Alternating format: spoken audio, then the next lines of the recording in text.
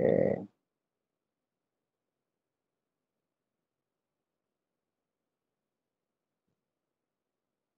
Pak Ranu mungkin mau mulai dulu. Apa pembukaannya udah kemarin? Lanjut aja nggak? Oh, udah. Boleh lanjut aja. aja. review dulu aja, review review yang kemarin aja. Review kemarin itu membahas apa? Ya kan? Baru nanti lan- lanjut pertemuan sekarang. Bisa di allow share screen-nya nggak, Pak? Saya nggak bisa dipencet nih. Tombol share screen-nya.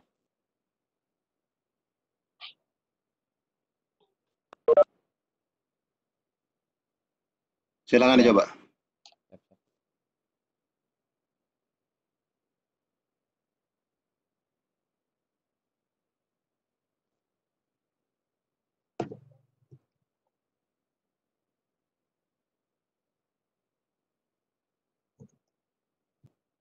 Oke, kelihatan ya.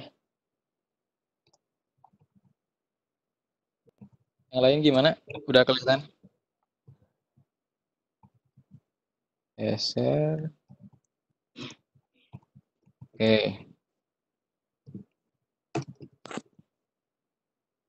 Oke, kita mulai ya. Bismillahirrahmanirrahim. Assalamualaikum warahmatullahi wabarakatuh. Oke. Selamat malam semuanya. Apa kabar? Harapkan semuanya dalam keadaan sehat walafiat di tengah ya, pandemi wabah virus corona ini. Kita harapkan semuanya dalam keadaan sehat walafiat dan semoga dengan kita memberikan materi di pertemuan kedua mengenai materi SD1 ini bisa bermanfaat untuk semuanya. Amin. Oke, kita mulai. Kalau pembukaan dan perkenalan udah kemarin ya. Sekarang kita lanjut dulu aja untuk nge-review di pertemuan satu. Kemarin di pertemuan satu kita membahas mengenai apa sih SD1 itu lebih ke pengenalan teknologi SD1 itu sebenarnya kayak gimana, ada apa aja di dalamnya. Nah, berikut agenda di pertemuan satu kemarin kita membahas tentang traditional network, software defined network atau SDN, menerapkan SDN di jaringan WAN alias SD1. Nah, terus ada juga kemarin kita bahas arsitekturnya Cisco SD1 sendiri. Lalu platform yang bisa digunakan untuk deploy SD1 beserta public operation-nya seperti apa. Ya, mungkin saya review dulu sedikit ya. Kemarin kita belajar mengenai plan, ada tiga plan, yaitu ada control plan, data plan, dan management plan. Nah, di control plan ini fungsinya yaitu sebagai otaknya perangkat jaringan. Jadi dia yang memproses perintah-perintah sehingga nanti hasilnya bisa dilaksanakan oleh si data plan. Nah, data plan ini dia fungsinya sama seperti otot. Jadi dia menerima perintah, menerima hasil proses pemikiran dari control plan dan data plan ini fungsinya hanya forwarding gitu ya. Kalau ada manajemen plan, manajemen plan ini yaitu fungsinya untuk interaksi antara kita sebagai pengguna atau user dengan si perangkat jaringan, entah itu bisa lewat SSH atau telnet, cara CLI, GPI gitu ya. Oke, lanjut. Nah, kemarin juga kita masuk ke traditional network. Traditional network itu adalah jaringan yang sekarang sedang kita pakai ya, yang sering kita temui saat ini, di mana traditional network ini masih menyatukan antara control plan dengan data plan dalam satu perangkat jaringan. Jadi dalam traditional network perangkat jaringannya itu dia yang mikir, dia juga yang bekerja. Bekerja di sini adalah melakukan fungsi forwarding. Gitu. Jadi fungsi control plan dan data plan ini masih ada dalam satu perangkat. Nah, ini kira-kira gambaran di traditional network, di mana sifat dari control plan, manajemen plan, dan data plan-nya adalah distributed. Di, di setiap perangkat ada. Bisa kita punya empat switch di sini, ya berarti kita punya empat control plan, empat data plan, dan empat manajemen plan. Seperti itu. Lalu di SDN sendiri atau di Design Networking itu kita mengambil control plan dari data plan dan menjadikannya menjadi terpusat. Gitu. Sehingga kalau misalkan kita mau mengkontrol si jaringan ini, perangkat jaringan ini nggak usah kita melakukan net atau SSH satu ke perangkatnya gitu. Cukup masuk ke controllernya ya berupa software aplikasi. Nanti di situ kita bisa melakukan apa pun fungsi-fungsi yang kita mau jalankan yang tadinya kita harus connect dulu ke perangkat satu persatu ini bisa kita jalankan dengan sekali klik klik klik klik doang di software aplikasinya gitu. karena cara kontrol sudah terpusat. Oke. Nah arsitektur dari SDN sendiri ini dibagi tiga layer.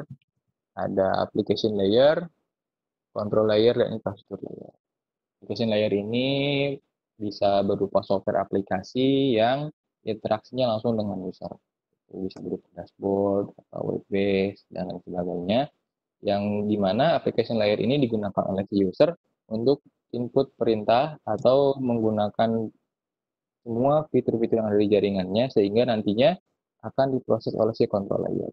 Di control layer inilah semua inputan, semua perintah-perintah yang tadi dimasukkan ke application layer itu diproses. Setelah itu baru dari control layer ini dibagikan ke infrastruktur layer.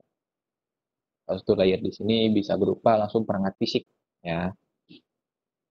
So, SDN sendiri dibagi menjadi beberapa jenis ya. Penempatannya beda-beda. Ada SDN yang diterapkan di jaringan WAN itu disebut dengan SDN. Ada juga SDN yang diterapkan di jaringan LAN. Jaringan akses disebut dengan SD akses. Ada juga SD branch. Kalau SD branch itu gabungan dari SD1 dengan SD LAN.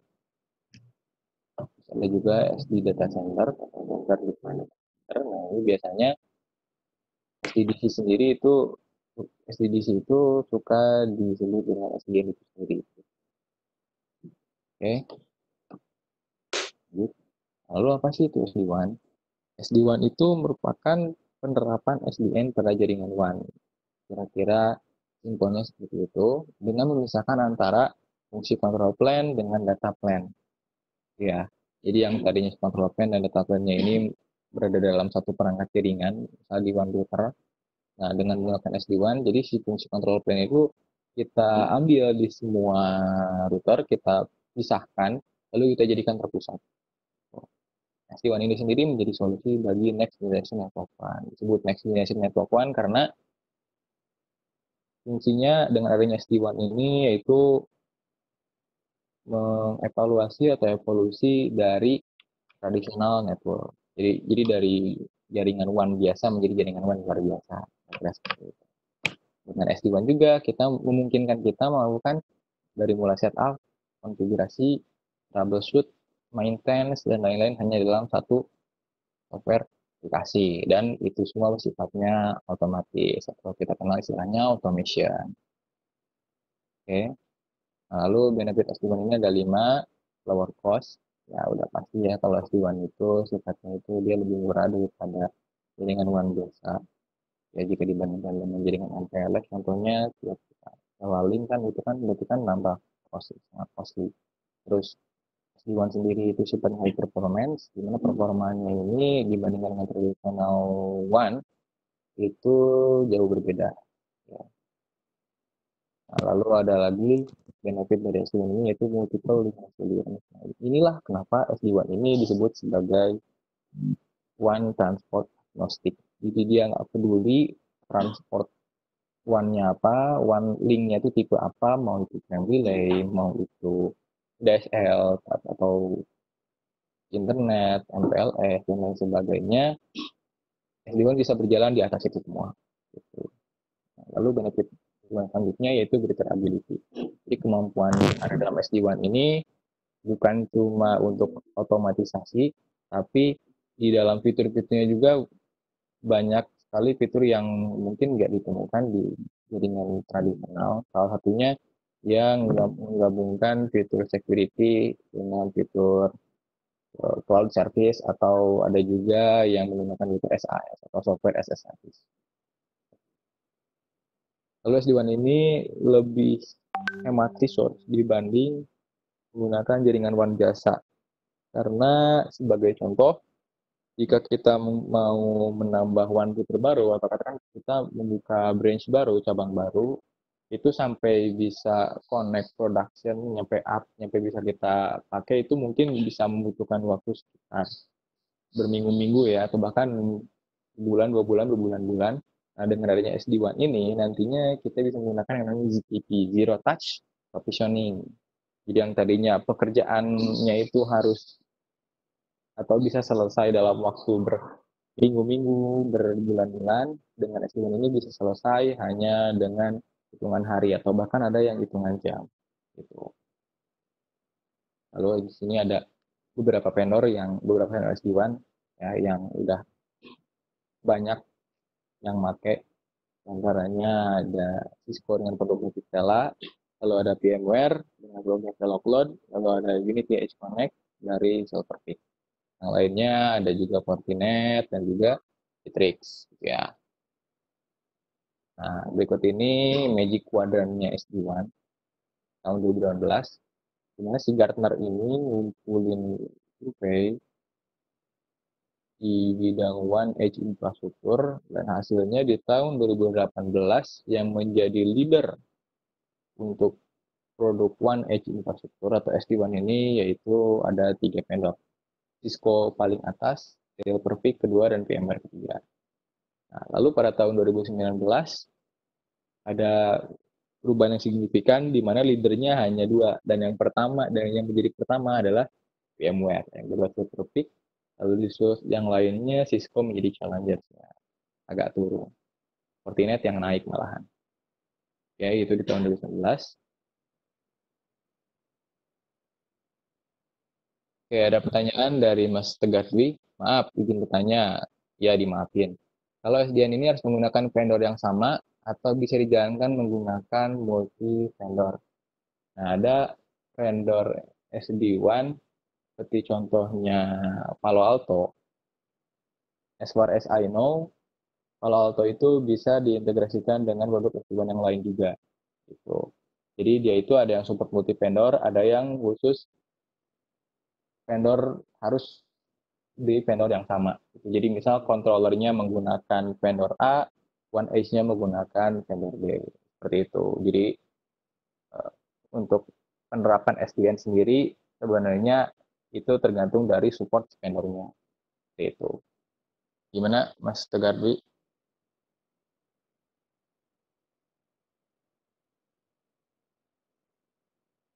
Oke. Kita lanjut ya. Atau misalkan ada pertanyaan lain, silakan. Ini kita masih review di pertemuan satu. Kalau misalnya ada yang baru join di pertemuan kedua ini, pertemuan satu kemarin nggak sempat, silakan ada pertanyaan atau apa karena poin kita, kalau misalkan semua belum paham di pertemuan satu, ya, kita nggak akan dulu lanjut. Kita lanjut jika kira-kira semuanya sudah paham untuk pertemuan satu ini materinya apa, dan kita juga udah ada online test ya. Jadi hasilnya kelihatan. Oke, kita lanjut. Kalau belum ada pertanyaan lain. Gartner sendiri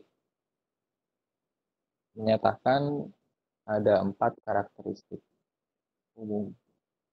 Dikatakannya SD1 jika memenuhi empat karakteristik umum ini. Itu yang pertama support beberapa tipe koneksi. Koneksi di sini koneksi di jaringan WAN ya seperti MPLS, delay atau mungkin LTE wireless sekalipun. Lalu yang kedua Dikatakan SD1 jika dia memiliki kemampuan untuk dynamic ad selection. So, jadi kita bisa atur per aplikasi ini mau lewat jalur yang mana gitu. Terutama untuk yang mengedepankan SLA.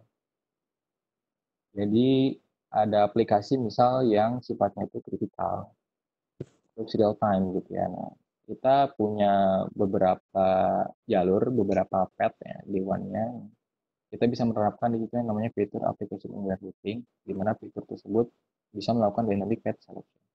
Jadi memilih jalur mana yang sekiranya stabil gitu ya, sesuai dengan kriteria yang sudah kita tetapkan sebelumnya. Tuh. Oke, yang ketiga, SD1 sendiri memiliki karakteristik yaitu memiliki interface yang kelihatannya simple, enak, terus easy to configure and manage. Jadi kelihatannya itu udah kayak modern banget gitu kan.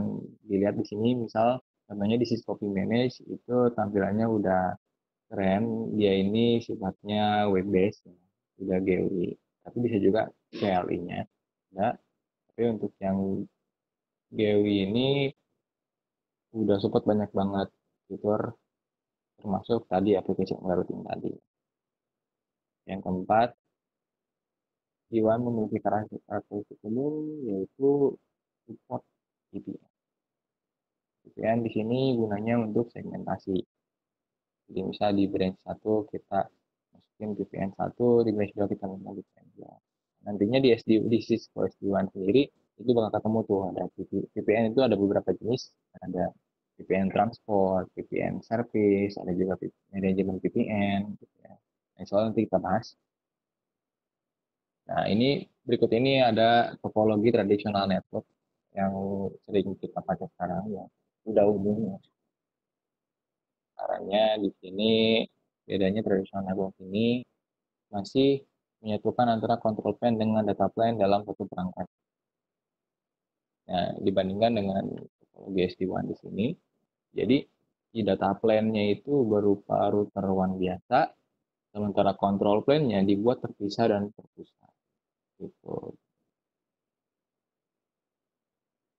oke lanjut nah sekarang kita lanjut ke Pipela jadi Pipela jadi kita jadi kita menggunakan produk dari Cisco Cisco SD-WAN itu namanya Pipela untuk melakukan pendekatan dalam memahami konsep SD-WAN. Oke. Okay? Lanjut kita lihat dulu single line line-nya. Jadi Viptela adalah sebuah perusahaan yang didirikan pada tahun 2012 yang berfokus pada pengembangan teknologi WAN dari mulai WAN automation, NFV, PNF hingga sekarang SD-WAN. Itu jadi Viptela itu sebenarnya udah ada dari tahun 2012. Dia bikin perusahaan sendiri.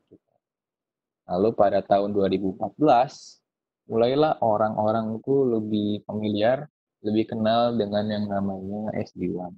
Mungkin sebelum-sebelumnya itu belum ini ya, belum terlalu familiar gitu, belum terlalu ramai namanya SD1. Mungkin ada juga yang menamakannya seperti One Optim atau One Automation gitu. Nah, digunakan istilah SD1 sendiri pada tahun 2014. Lalu di tahun 2017 perusahaan Cisco itu mengakuisisi Viptela dan menjadikannya sebuah produk SD-WAN bernama Cisco Viptela sampai sekarang. Oke. Okay. Lalu pada tahun 2018 hanya selang setahun ya diakuisisi sama Cisco, Viptelanya Cisco ini udah menjadi yang nomor satu di antara vendor-vendor SD-WAN lain. Dan Gartner sendiri itu prediksi dari mulai tahun 2016 nyampe nanti tahun 2023 akan ada sekitar 90% One Edge infrastruktur di seluruh dunia memakai SD-WAN. Ini kiranya nanti gambaran ke depannya itu tahun 2023 itu dan sampai sananya lagi itu sudah menggunakan SD-WAN. Gitu. Oke, lalu kita lanjut ke SD-WAN arsitektur. Oke, komponen dari Cisco SD-WAN itu ada empat. Dibagi empat plan ya, ada manajemen plan, control plan, data plan, dan orchestration plan. Nah, yang termasuk manajemen plan di sini ada P-Manage, yang termasuk control plan di sini P-Smart Controller.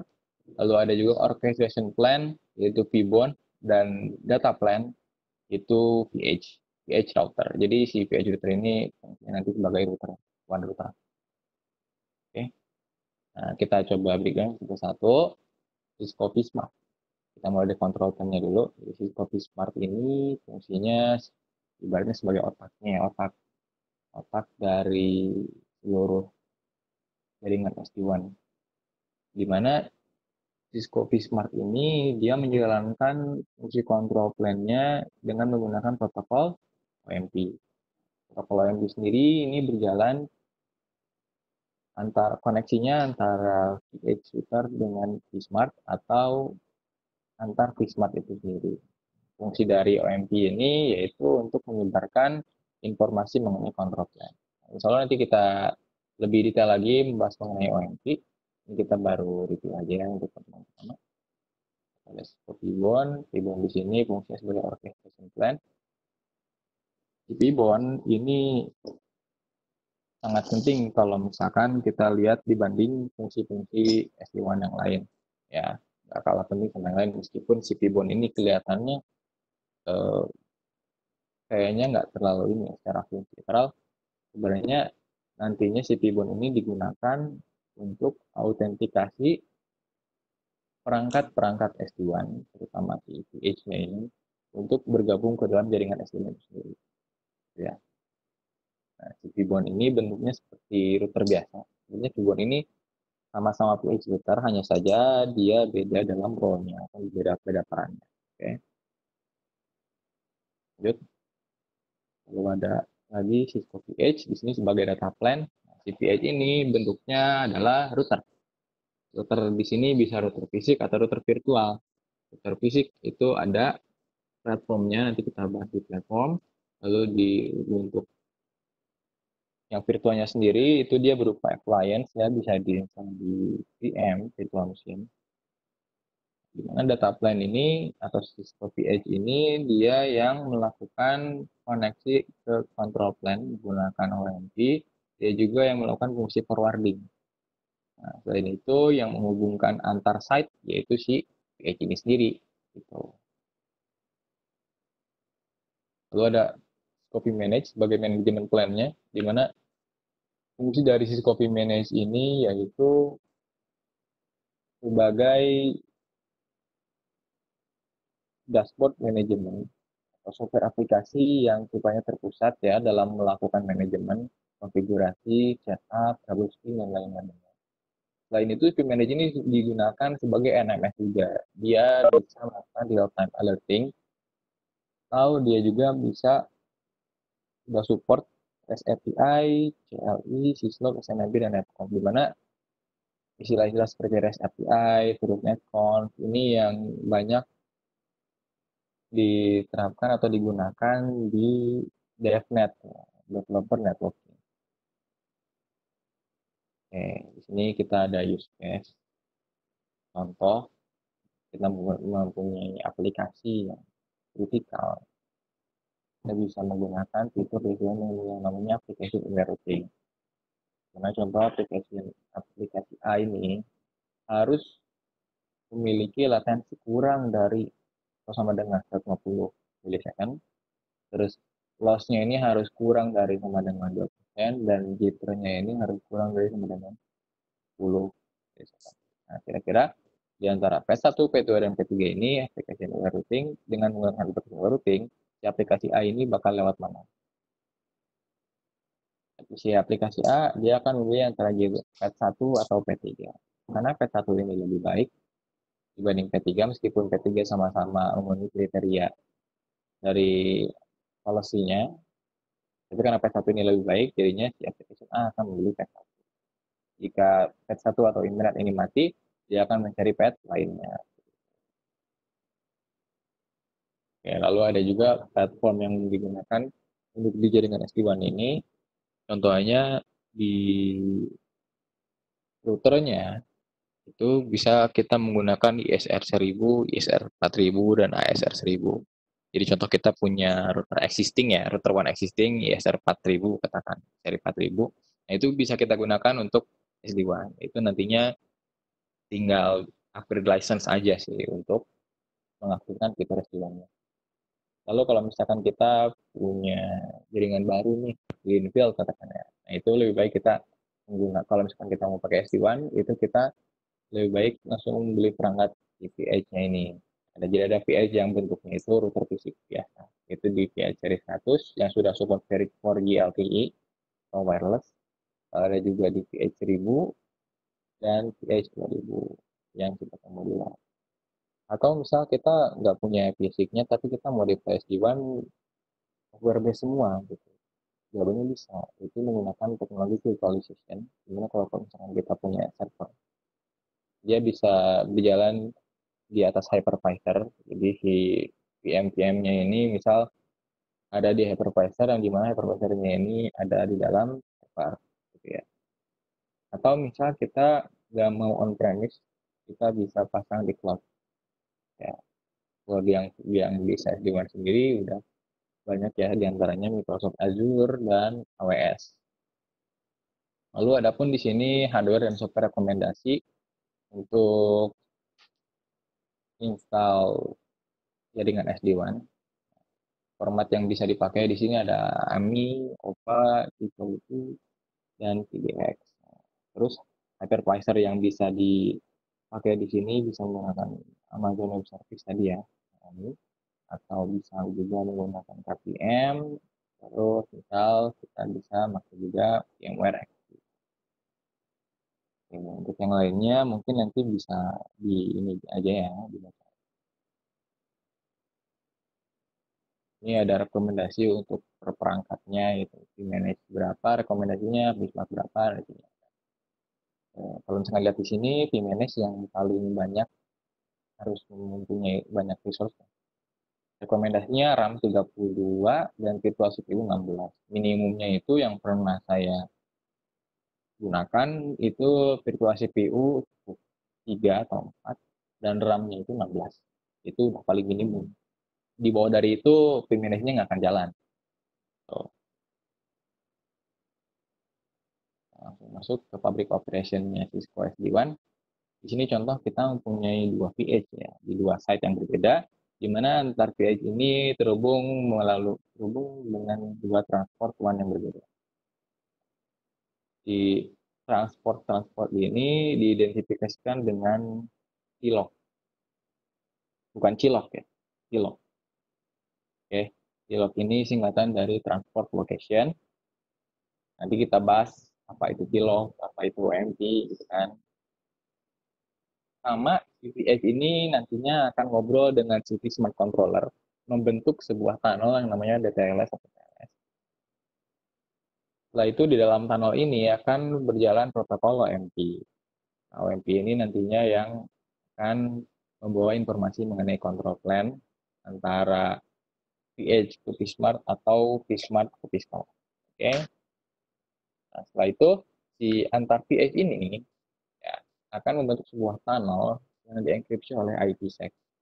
Tunnel ini nantinya yang akan menjadi jalur traffic data, data atau data plan ya, lewat tunnel ini. Nah, di dalam tunnel ini juga nanti akan aktif BFD sebagai link quality control. Nanti ada yang ngecek linknya itu di BFD ya. Kita nanti bakal running BFD. By default sudah ada.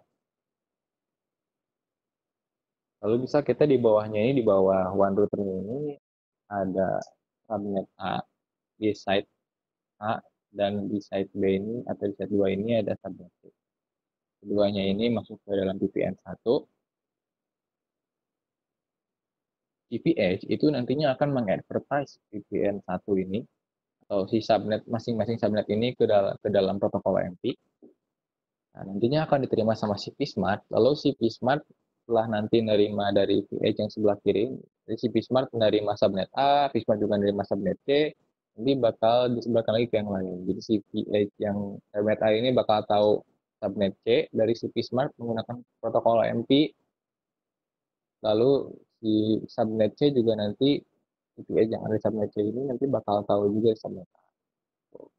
Karena dia menerima OMP update dari peer-nya yaitu Smart. Begitupun kalau misalkan kita mempunyai VPN yang lain, punya subnet-subnet yang lain, ya prosesnya tetap sama, gitu.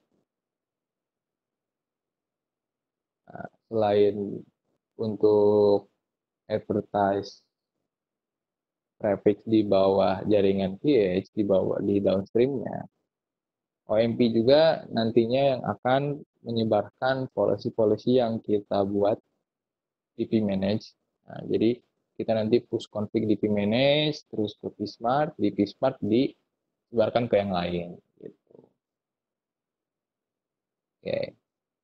Nah, itu tadi sedikit review ya mengenai pertemuan pertama. Silakan jika ada pertanyaan sebelum kita lanjut ke materi pertemuan kedua yaitu SD1 from scratch.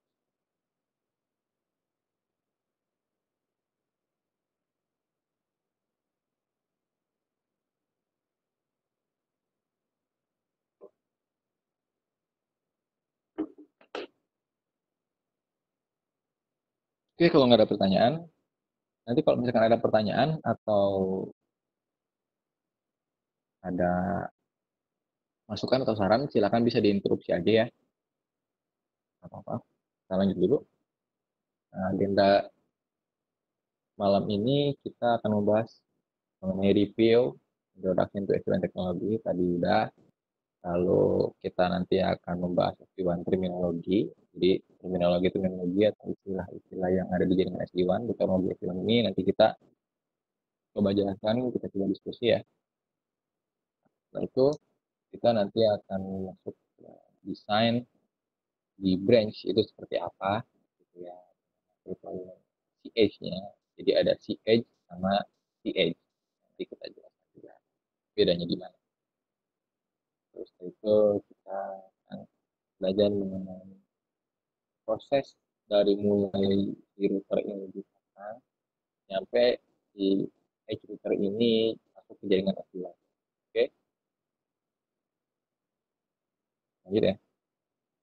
Sama kita masuk ke SD1 terminologi di sini SD1 terminologi banyak ya. Jadi ada beberapa istilah mungkin yang belum ditemukan sebelumnya belum pernah dengar sebelumnya. Contohnya kayak OMP ada tilok kenapa ada color di sini? Color ya. Ada color di sini gitu kan Nah, nanti ini kita coba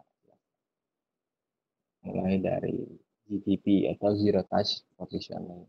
Mungkin untuk yang pernah belajar SDN ya, itu pasti udah nggak asing dengan yang namanya GTP.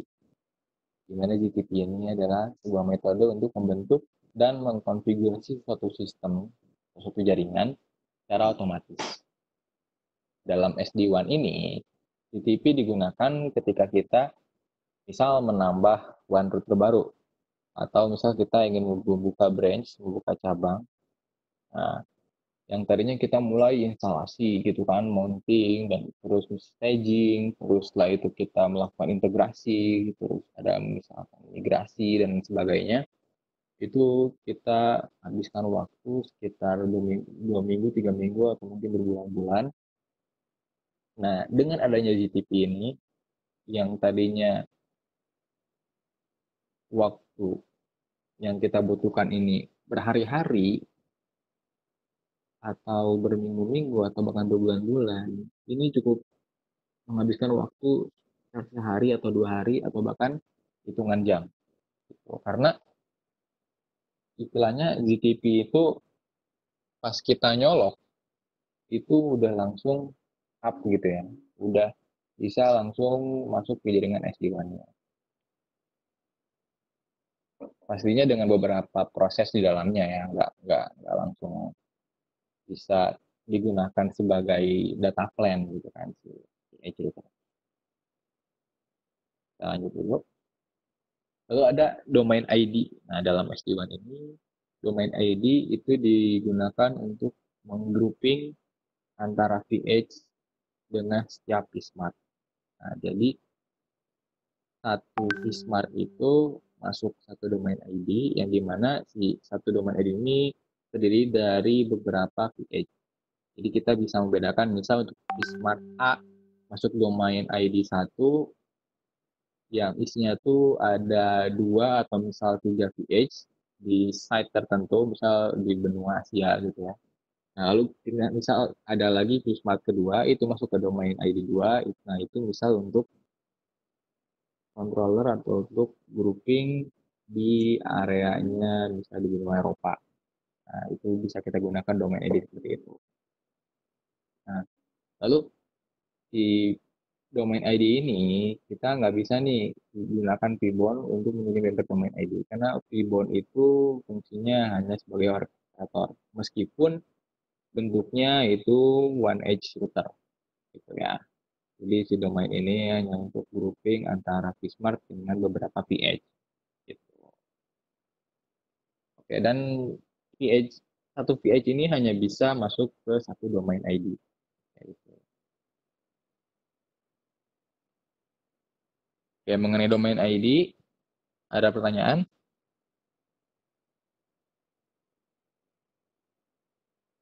Oke, kalau belum ada kita lanjut dulu ya.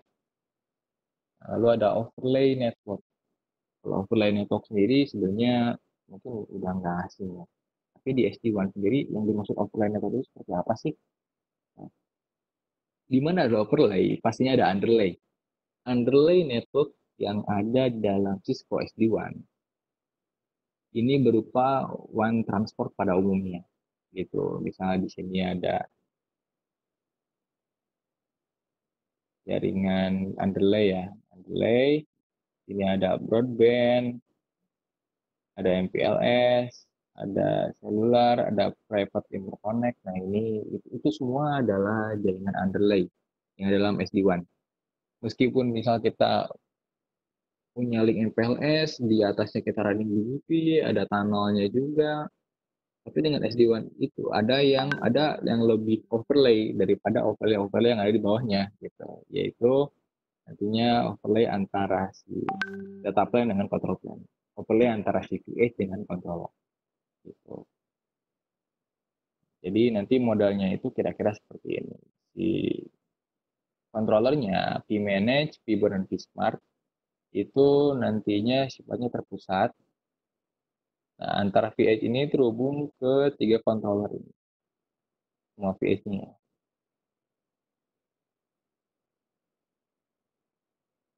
Dan koneksi antara si VH dengan controller ini sifatnya overlay.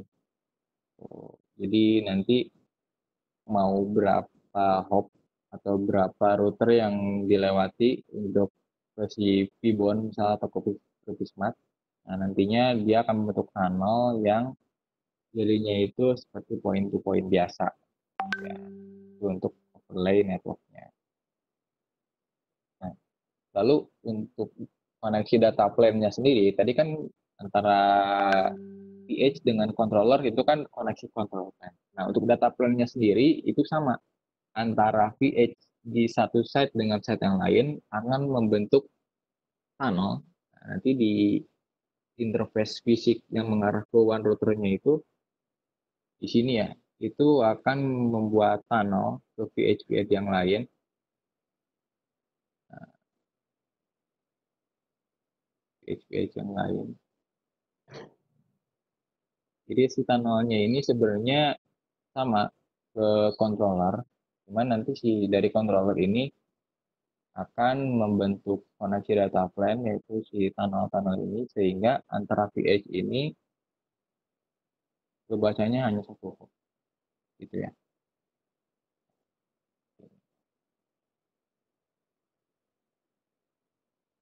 Oke. Nah, tadi kita udah bahas mengenai overlay network. Sekarang kita bahas mengenai VPN. VPN dalam SD-WAN ini fungsinya untuk segmentasi.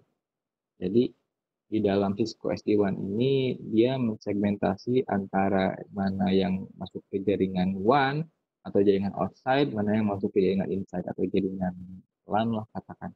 Gitu ya. Nah, VPN 0 ini disebut sebagai transport VPN. Kenapa disebut transport VPN? Karena dia berjalan pada handle Maksudnya adalah jadi yang termasuk underlying network di sini nah, dalam kotak ini ya. Ini termasuk ke VPN 0.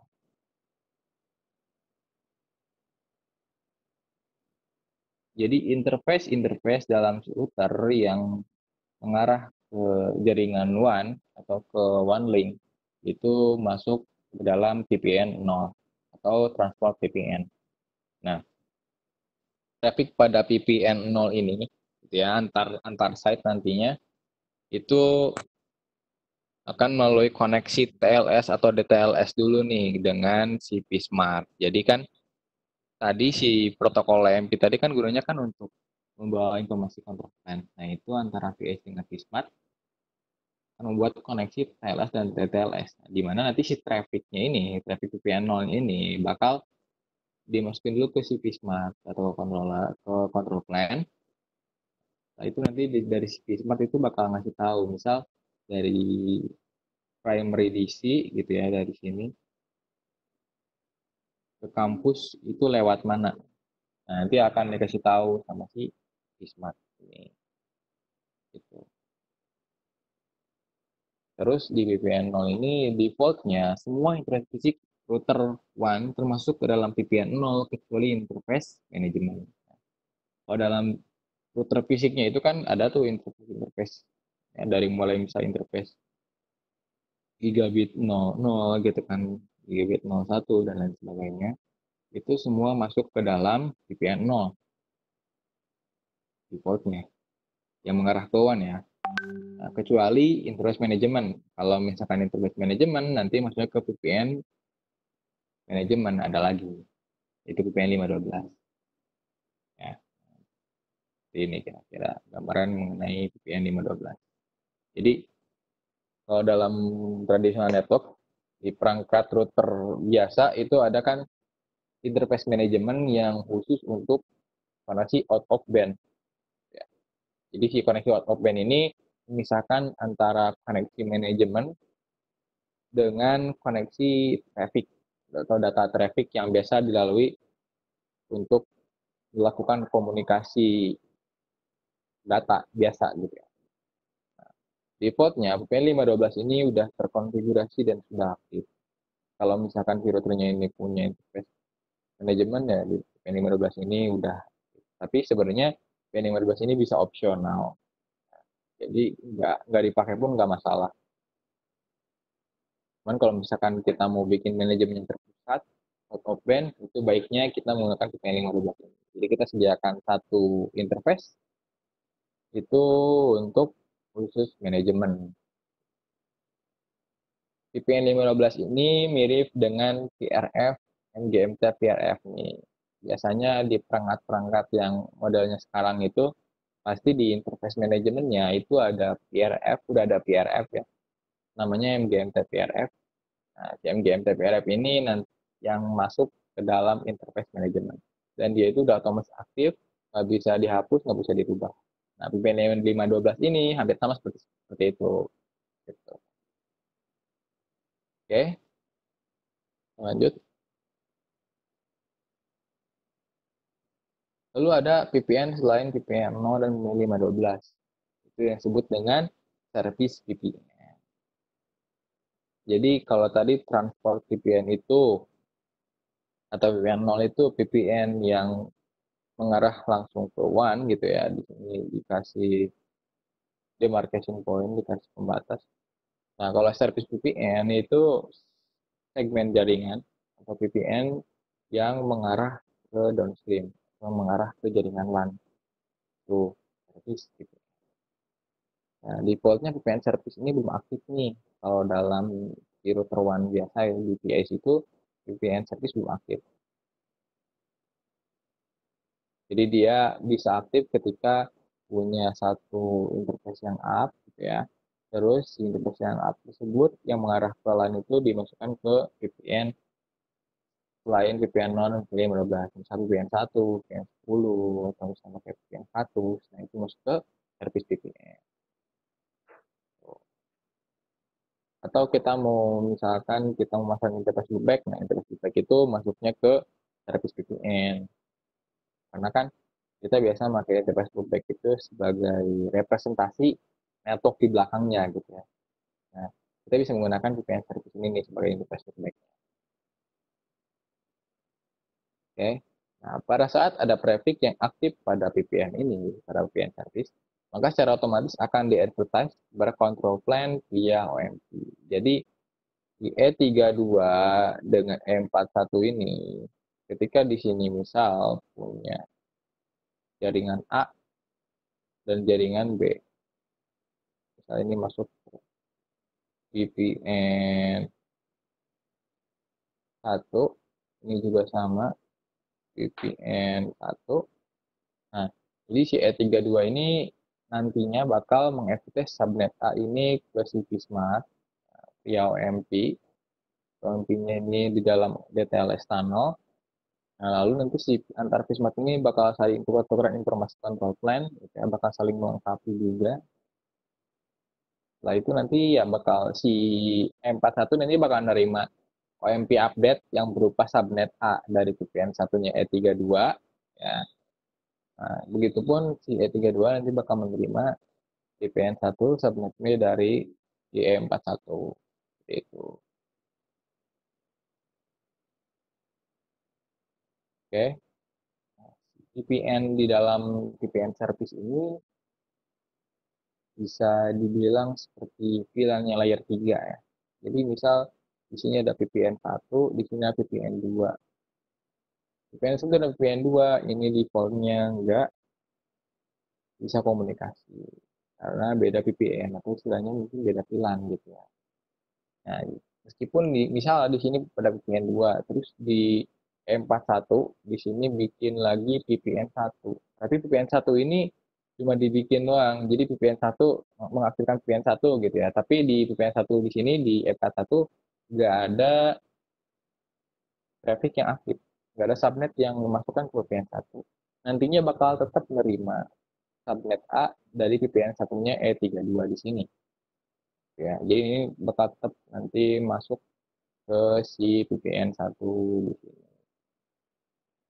Itu konsepnya sama VLAN tapi ini di layer 3 dan dalam jaringan SD-WAN. Oke. Sampai sini dulu. Ada pertanyaan?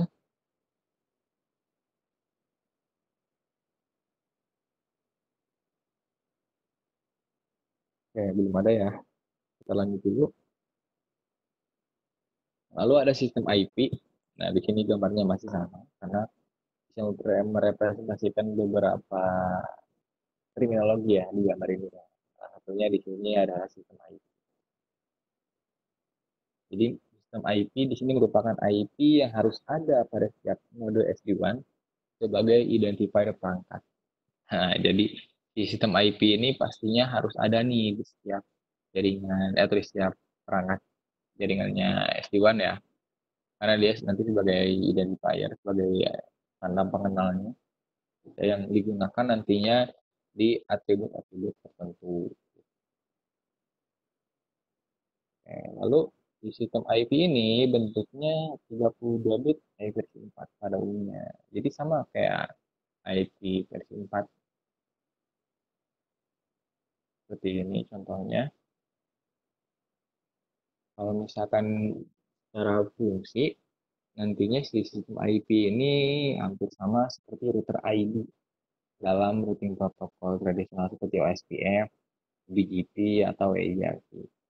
Ya, dan sistem IP ini harus sifatnya harus unik. Jadi dua perangkat yang beda itu nggak boleh sistem IP-nya sama. Nantinya bakal ada masalah mengenai sistem IP-nya yang berakibat nantinya controller dan kontrol-kontrol yang lain yang lain ya, vSmart, vBond dan vManage akan menganggap bahwa ini invalid nih, ada yang sama atau ada yang duplicate. Lalu sistem IP ini sifatnya tidak tidak readable, dia nggak di advertise pada routing protokol yang lain, terutama pada jaringan WAN. Tapi biasanya untuk sistem IP ini tetap disarankan memakai alokasi IP yang tersedia, karena itu digunakan sebagai sistem IP. Gitu. Jadi lebih gampangnya sistem IP ini sama seperti IP loopback tapi dia nggak bisa dipakai untuk membawa data traffic. Seperti itu. Oke. Lanjut. Ada lagi color. Color di sini maksudnya apa nih? Apakah color yang suka dipakai gitu kan? Eh, atau sebenarnya di sini colornya itu maksudnya color itu sendiri warna. Nah, color dalam SD1 di sini fungsinya sebagai penanda jalur one atau one transport yang satu dengan yang lain. Jadi, misal di sini kita mempunyai beberapa tipe koneksi yang warna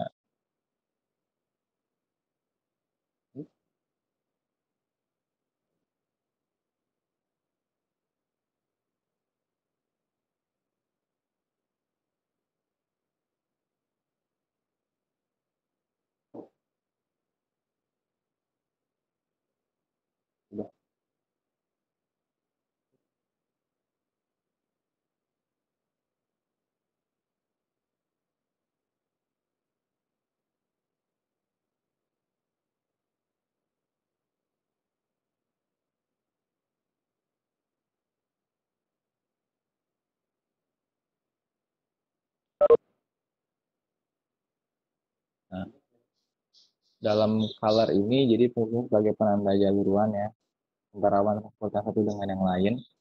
Nah, di mana dalam satu router one ini dia support sampai 8 8 color yang artinya 8 interface one yang bisa dipakai karena satu color tidak bisa digunakan dalam dua interface sekaligus. Gitu. Jadi misal di sini PH yang ada di primary DC connect ke private ya menggunakan colornya di sini color biru, color blue.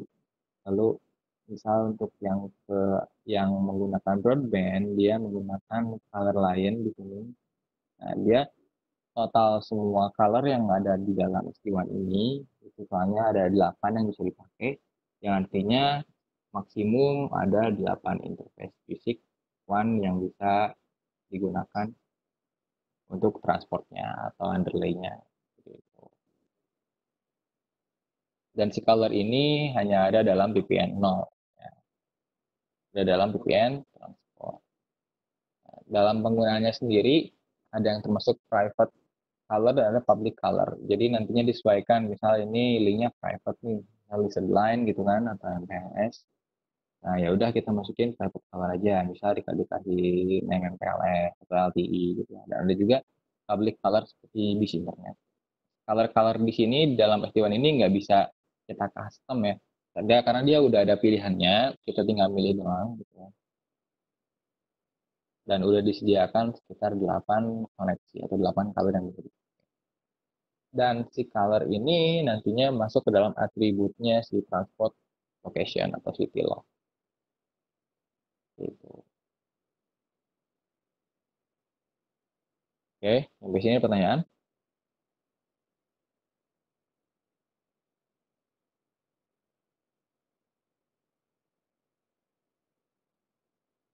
Oke, lanjut ya.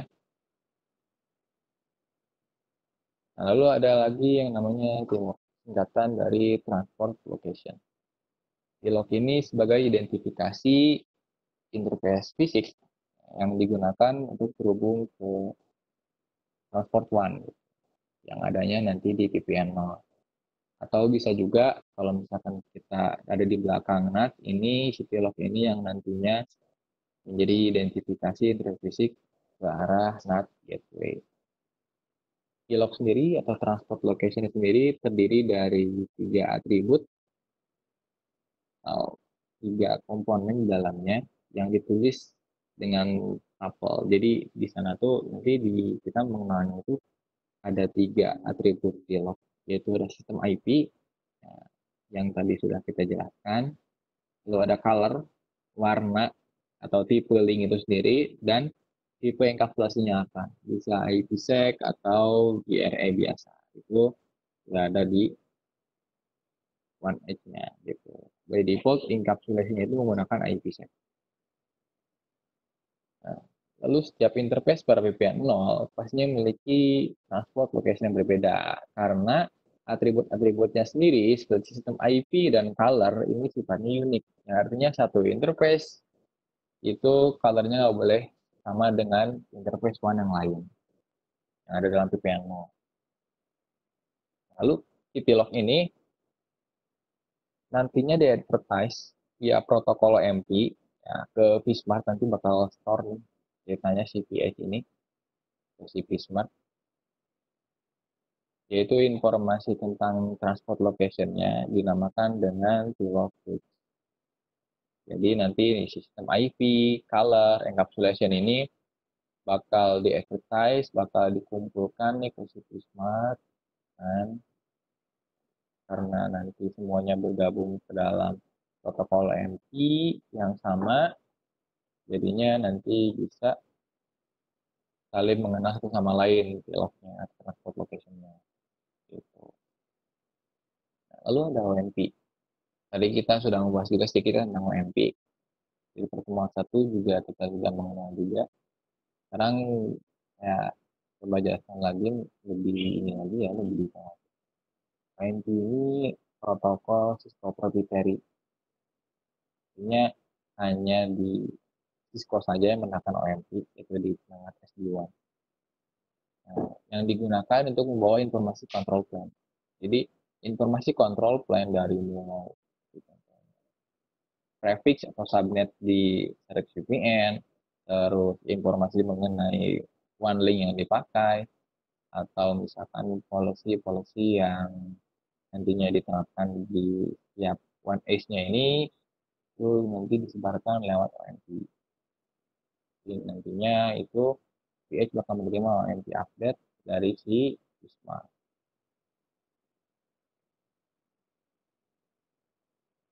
Oke. Ada pertanyaan dari Pak Wahid Umar.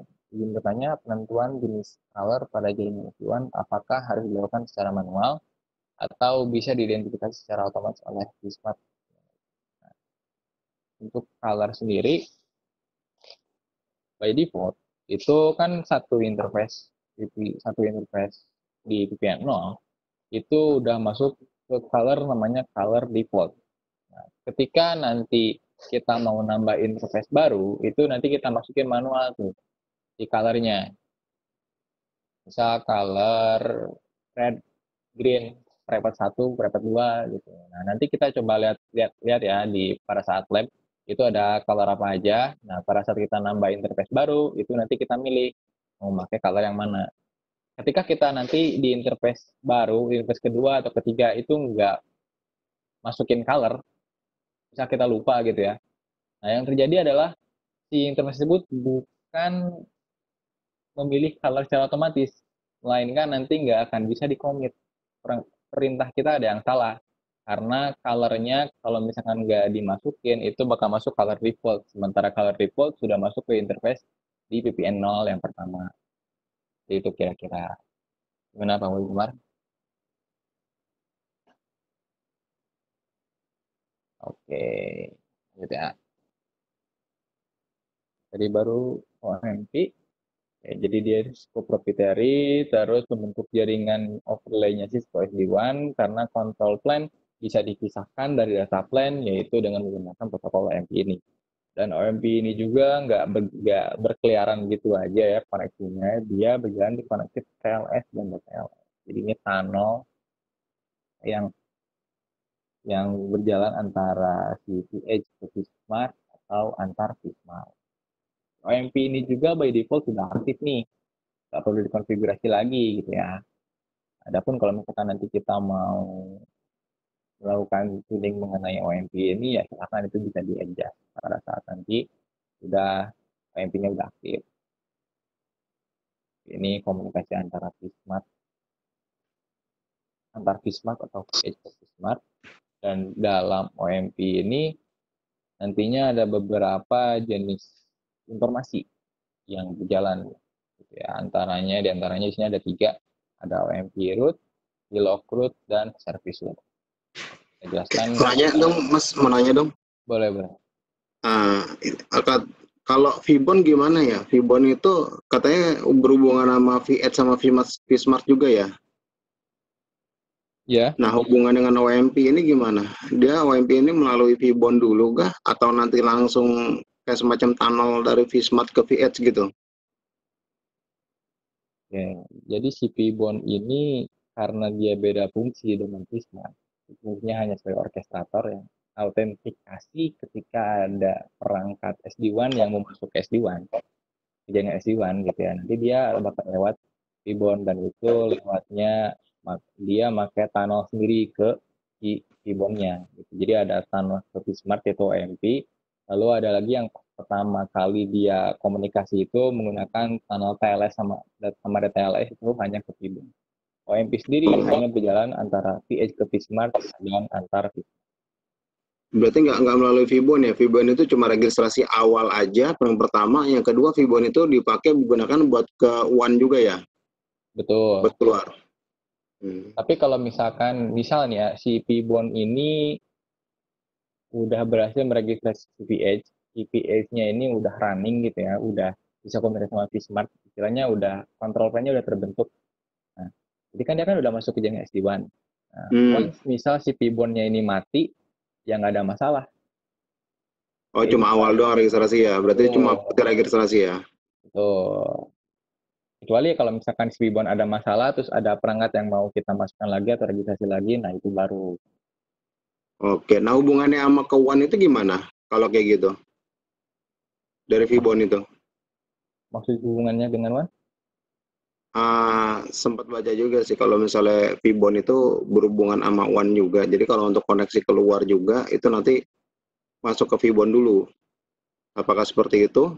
Atau seharusnya dibilangnya nggak seperti itu karena Vibon itu digunakan buat registrasi. Mungkin yang dimaksud dengan berhubungan awan itu selama emang itu masih dalam SD1 ya kan. Nah, itu harus didaftarkan ke uh, Vibon. Termasuk oh. kalau misalnya ada perangkat yang kau kawan kan one router harusnya pakai VH juga kan. Ya, kalau mau keluar kan. Nah mungkin maksudnya itu seperti itu kali ya. Karena kan Vibon itu tadi ya, kan ya. fungsinya itu pada saat registrasi awal aja kan. Pada saat registrasi ya, awal ya. untuk Vsmart, untuk V-Ads ya kan. Nah, itu fungsinya buat itu. Nanti kalau misalnya udah nggak bentuk ya bypass, sudah udah nggak ada Vibon lagi. Even tadi kan katanya meskipun Vibon mati pun kan nggak ada masalah ya kan. Betul, betul. Nah. Ya, cuma tinggal dikubur, semoga diterima oleh warga sekitar ya. eh. Oke, oke lanjut. ya, makanya kalau corona nggak diterima nih masalahnya. Eh, lanjut, lanjut. Oke, jadi gitu ya. Emang Tibon ini sebenarnya hubungannya dengan jaringan itu sendiri yaitu tadi hanya untuk beregistrasi aja. Adapun misal fungsi Tibon yang lain itu mungkin artinya untuk menjembatani kalau misalkan ada perangkat yang di belakang nah, Kibon ini kan nantinya posisinya itu ada di tengah-tengah. Artinya pada saat awal implementasi, Kibon itu harus sudah bisa reachable dari CPH. Mau lewat apa pun caranya, mau itu dipasang di menggunakan IP public di internet, atau misalkan kita masangnya di cloud gitu ya, bisa reachable ke PHP yang mau kita daftarkan. Nah, itu dibuat. Oke.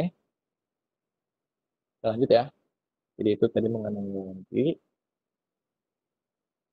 OMP nanti ada ketemu sama OMP root, load, dan seperti Jadi OMP ini nama protokolnya. Di dalam protokol OMP ini nanti running beberapa protokol lagi, yaitu OMP root, load, dan seperti Kita masuk ke OMP root dulu nih. Lihat ini ada dua gambar, di sini gambar satu dan gambar dua. Gambar atas dan gambar bawah. Jadi OMP root ini termasuk root masuk protokol yang dihandle oleh si protokol OMP. OMP root ini fungsinya nanti untuk mengadvertise, untuk ngasih OMP update atau routing update yang di mana prefixnya ini berasal dari service VPN. Nah, tadi kita tahu servis VPN ini yaitu segmentasi atau VPN yang mengarah ke jaringan LAN. Jadi di sini ini servis VPN. Servis VPN.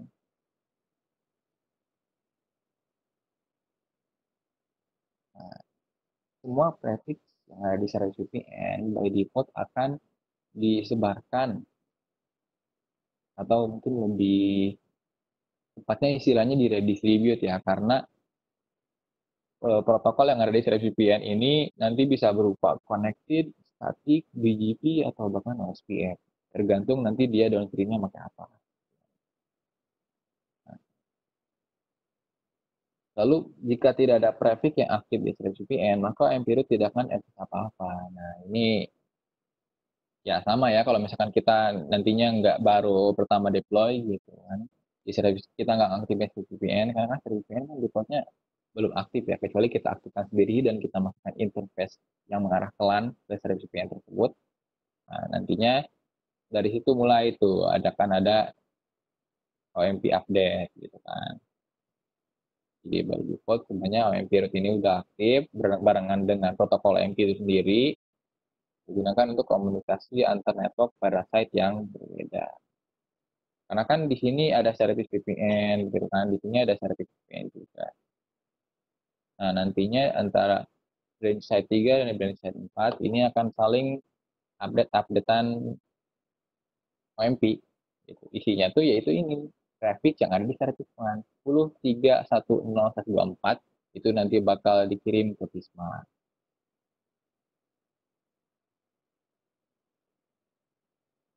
10410 juga nanti akan dikirim ke, ke Bismarck. Nah, nanti antara Bismarck ini misal si Bismarck 1 punya informasi tentang 10310 dan si Bismarck 2 ini punya informasi mengenai 10410 nanti akan sering tukeran. Keduanya akan melakukan synchronize lalu nanti keduanya juga yang akan mengirimkan OMP update dari OMP yang lain atau dari site yang lain ke router edge yang dituju. Jadi nanti di 10410 jika ini masuk ke VPN yang sama dengan VPN, misalnya ini VPN 2 di sini VPN 2. Nah, ketika ini sama VPN-nya, itu akan akan saling menerima update. Jadi 10410 di sini akan diterima oleh si E32 dan E31. Begitupun sebaliknya.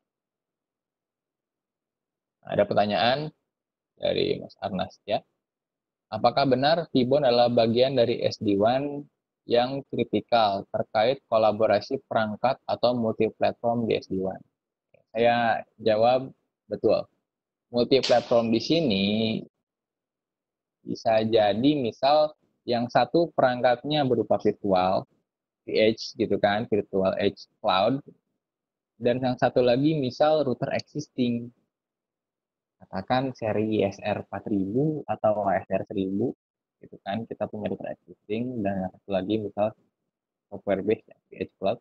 Nah itu nantinya si antara VH Cloud dengan si platformnya si ASR atau ISR 4000 ini bisa saling terhubung di jaringan SD-WAN asalkan nanti si ASR 4000-nya ini dia udah upgrade license gitu kan ke untuk mengaktifkan fiturnya SD-WAN dan nanti si Ibon ini bakal ngebedain kalau misalkan dia tipenya VH ya akan dinamakan VH VH Cloud atau VH Router kalau dan kalau misalkan tipenya itu kayak misalkan ASR, ISR atau bahkan SR gitu ya nanti dia akan dinamakan sebagai CH gitu. Jadi kolaborasi perangkat di sini maksudnya multi platform yang berbeda jenis ya antara virtual edge dengan edge. Router pada router one pada umumnya. Ya gimana Mas Arnas ya? Kalau masih ada pertanyaan lain silakan.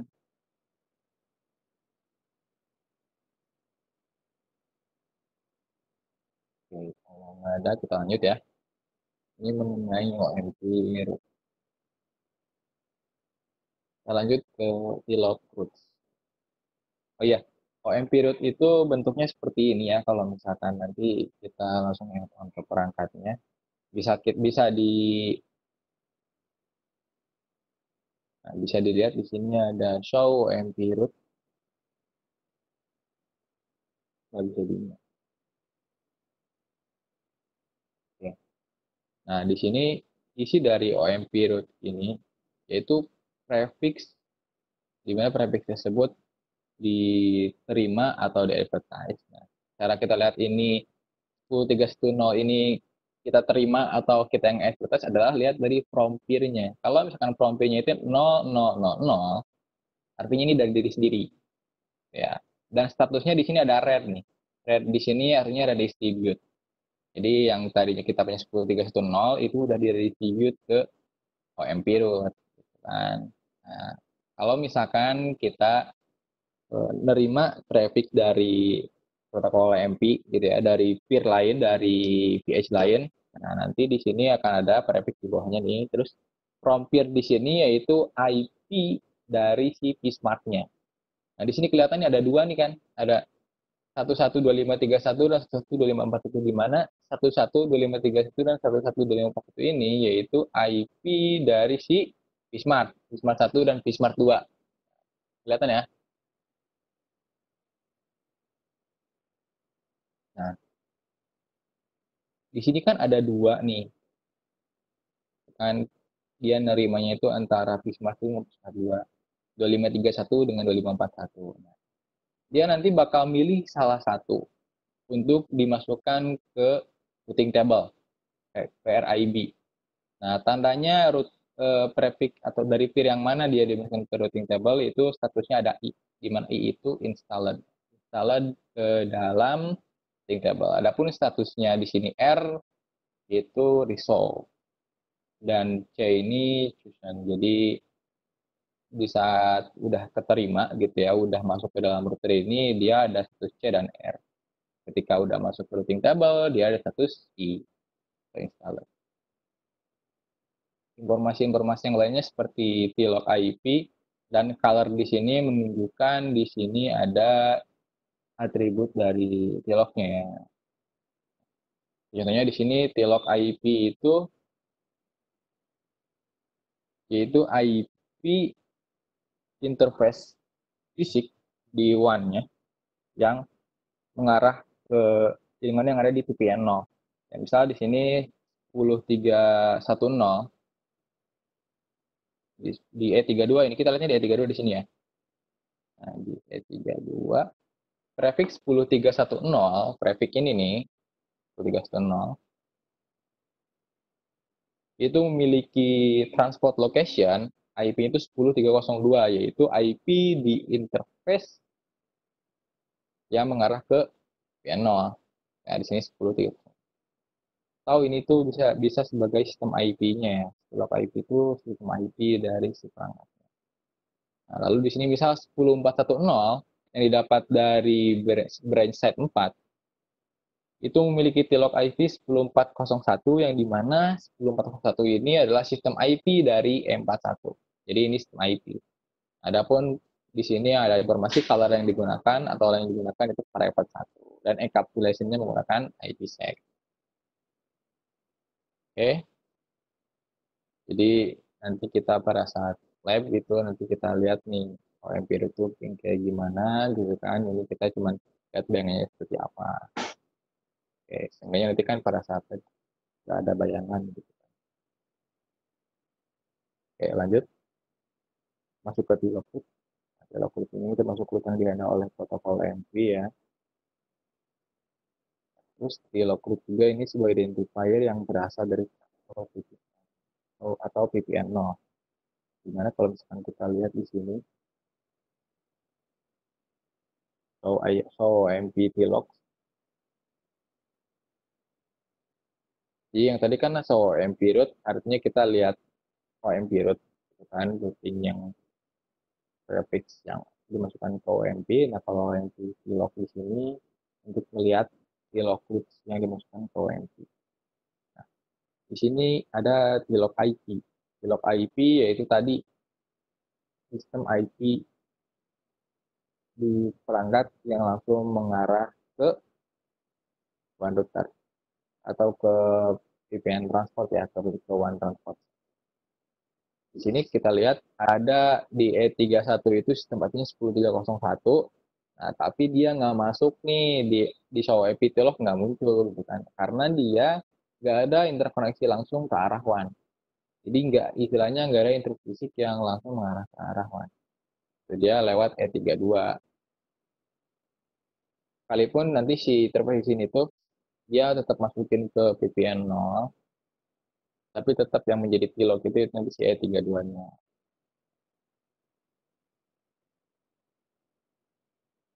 Tadi kita udah ini ya, udah tahu juga atributnya si pilot ini ada tiga komponen itu sistem IP. Nah, sistem IP ini tilok IP, lalu ada color, dan yang ketiga encapsulation. Bisa kita cek di show MP tilok. Jadi tilok ini dia berjalan pada VPN 0 atau VPN 0 di root sendiri di sini fungsinya sebagai next hop untuk OMP root. Nah, kenapa istilahnya jadi next hop? Saya coba back ke yang tadi. Oke, OMP root. Nah, di sini di OMP root ada prefix 10310 dan 10410. 10410 yang didapat dari dari edge lain ya. Cara bacanya adalah kalau misalkan kita mau ke 10410 kita lewat mana? Atau kita menggunakan hop mana? Itu bisa dilihat dari tiloknya atau transport location-nya. Di sini kita mau si E32 yang memiliki 10 memiliki sistem IP 10302 ya. Kalau misalkan mau ke prefix 10410 itu dia lewatnya ke 10401 jadi nanti akan nge-resolve lagi nih si P-Smart-nya gitu kan bakal ngasih tahu 10401 ini dia pakai color apa? Pakai color private 1 ya udah berarti link private 1 atau color private 1 nanti bakal dipakai untuk melewatkan traffic 10410. Jadi kira-kira seperti itu nanti untuk pet selection-nya ya bisa disebut pet selection-nya. Karena kan nanti beda color artinya beda link. Kalau misalkan di sini kita udah tahu IP next hop-nya, kita juga harus tahu mau memakai interface yang mana. Nah, mau memakai interface yang mana itu di-define dengan color. Gitu. Untuk dialog ya. Jadi nah, ini berfungsi sebagai next hop untuk OMP.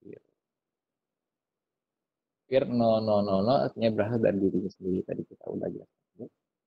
Oke, nyampe sini ada pertanyaan?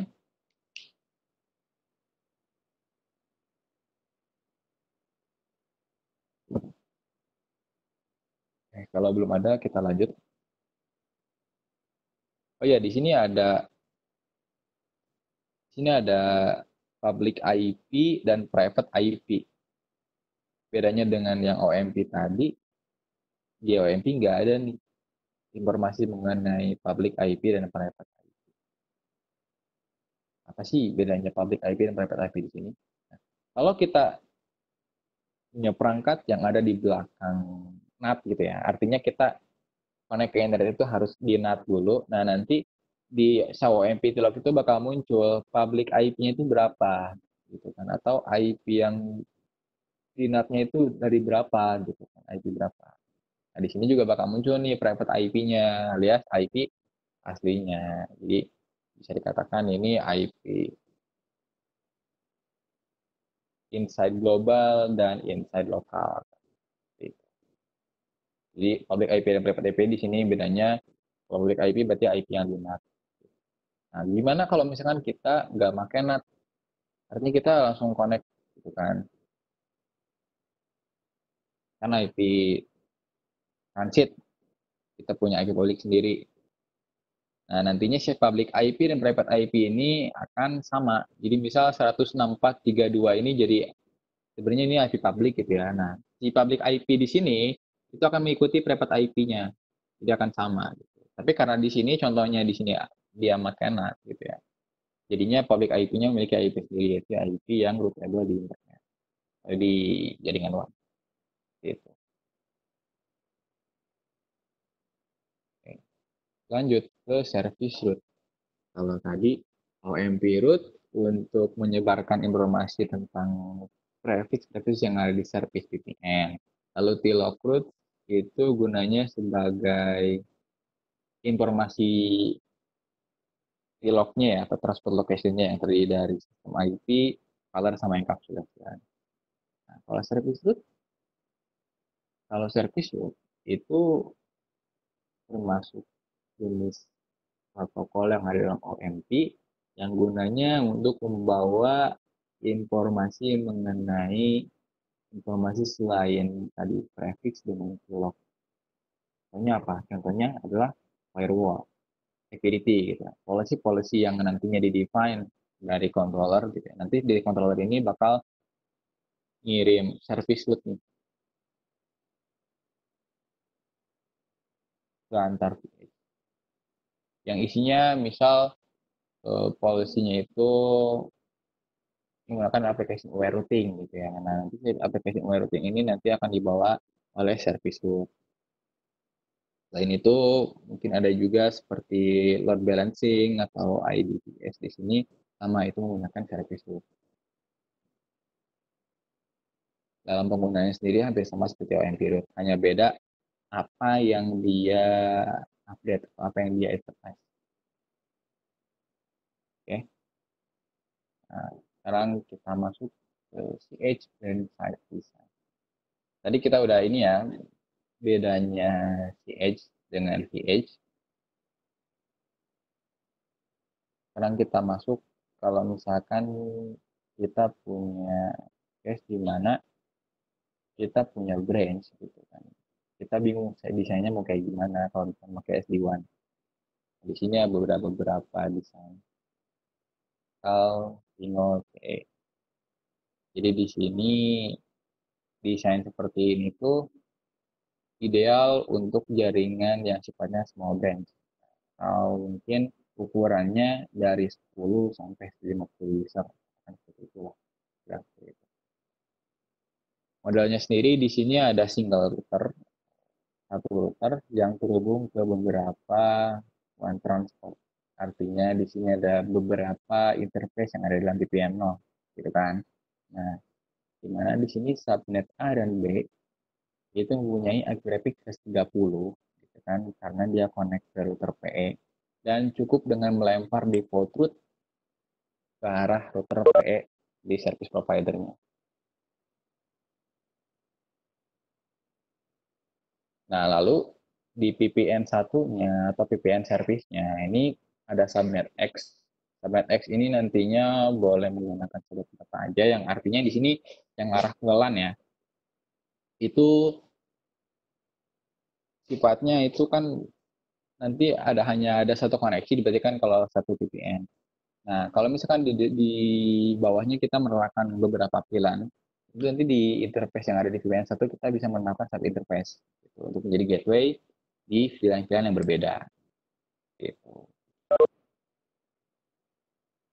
Nah, terus untuk single CE ini ya, untuk desain single CE ini sebenarnya di sini masih bersifat scope, single pane of failure bagi line side-nya atau bagi VPN service-nya karena router yang one yang dipakai hanya ada satu. Beda dengan desain yang selanjutnya itu dual CE. Ya. Di dua CE yang option pertama ini dia menggunakan dua CH sebagai redundancy. Nah, masing-masing si edge ini terhubung ke one transport yang berbeda-beda. Adapun di sini misal edge satu ini connect ke private transport. Nah, itu mungkin MPLS atau line dan lain sebagainya. Lalu subnet eh, sisi H2 ini connect ke public transport, katakan internet gitu ya. Nanti subnet A dan B mempunyai IP prefix 30 sama seperti yang single C tadi. Jadi dia mempunyai IP prefix 30 ke providernya, ke router P-nya. Nah, di sini kalau misalkan satu edge ini ingin terhubung ke dua transport, karena kan ini dalam satu site ya, dalam satu site ini ada dua router yang connect ke dua link one yang berbeda. Nah, kalau misalkan kita mau bikin satu rutenya ini connect ke dua, duanya, ke dua link yang berbeda tersebut, kita di sini bisa masang lagi nih subnet C dan subnet D yang ada di sini. Nah, masing-masing si edge 1 perlu advertise edge 2 ini kepada provider PE yang menggunakan BGP ya. Ini menggunakan BGP, jadi nantinya di advertise ke providernya PE agar sisi H2 ini nantinya bisa menggunakan private transport meskipun lewatnya si H1 meskipun cara oh nanti lewat sini ya secara underlay lewat, lewat sini. Tapi kan nanti kalau misalkan udah jadi SD1 jaringan SD1 itu nantinya pakai tunnel interface yang artinya antara antara satu set dengan set lain mau memakai transport apa pun itu nantinya akan jalan tunnel di atas. Nah, lalu ada pertanyaan di sini, model model arsitektur CH apakah sama dengan PH menggunakan protokol MP dan sebagainya seperti yang kita jelaskan sebelumnya, namun skalanya lebih kecil. Ini bisa dibilang untuk pH itu sama seperti CH, tapi di sini case yang digunakan adalah uh, case, case case di sini adalah kalau misalkan kita sudah punya one router existing. Karena kita nggak mungkin juga gitu ya sangat beresiko kalau misalkan mengganti one router existing kita akan di SL 4000 dengan pH gitu. Masih di tengahnya kita memasang server di sini. Gitu ya. Makanya di sini dia ibaratkan si edge ini adalah router fisik. Tentunya router fisik. Gitu. Jadi kita memanfaatkan atau mengoptimisasi perangkat yang sudah ada. Gitu. Secara deployment sama, menggunakan protokol MP, terus nanti dia bakal ada tilog juga. Gitu. Tetap sama. Hanya saja mungkin kalau untuk PH itu, karena dia fiturnya untuk SD1, sementara CH itu dia bisa menggunakan dua fitur. Fitur yang biasa, bawaan misal iOS XE-nya si router, atau iOS SD1-nya yang nanti jadi jadi jaringan SD1. Gitu.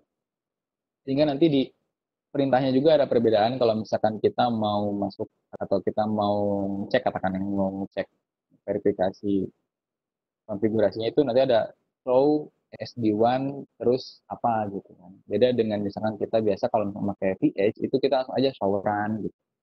Atau show MP. Kalau misalkan nanti kita pakai CH itu nanti kita harus masuk dulu ke dalam konfigurasi si SD1-nya. Jadi kalau misalkan kita mau ngecek run-nya si SD1-nya, berarti kita show SD1 running config.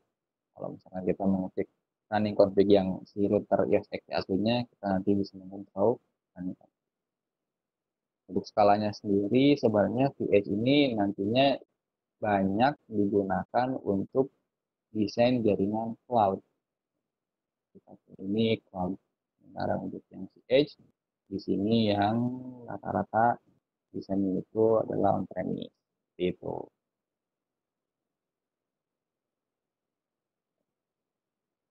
Lanjut ya. Nah, untuk meredundansi di service VPN-nya, kalau tadi di single C ini kan masih spot kan masih hanya ada satu router, router one. Nah, kalau dalam dua C ini, kita bisa menggunakan protokol redundansi untuk si LAN site-nya itu menggunakan PRRP. Jadi yang disupport FHRP yang disupport oleh si SD1 di sini adalah PRRP gitu. Si IP address virtual IP dari si PRRP-nya nanti bisa digunakan sebagai gateway-nya VPN service. Gitu. Tadi kita lanjut dulu ya untuk yang si H2 itu kan kalau misalkan mau pakai private transport mesti bakal lewat si H1 dengan catatan si H1 ini nanti nge-advertise H2 atau nge-advertise si subnet C ini ke arah private transport ke arah PE-nya provider. Nah, jadi nantinya sisi H2 punya dua link ke public satu dan ke private satu. Pun ke private nanti bakal lewat si H, si H1 dulu. Nah, terus gimana kalau misalkan si H1 itu udah punya ke private transport, tapi dia juga pengen punya link langsung ke public. Nah, caranya kalau misalkan si H2 ini yang berhubung ke public transport itu hanya memiliki satu IP public internet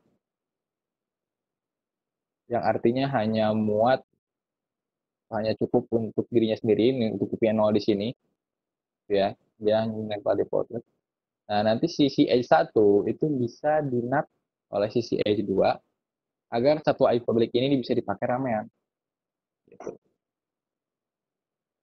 Jadi tetap nanti dari si CH1 itu di NAT CH2 dulu. Jadi nanti tetap ini sama juga punya dua one. Nah kan kalau kayak gini berarti jadinya redundant ya di one transportnya.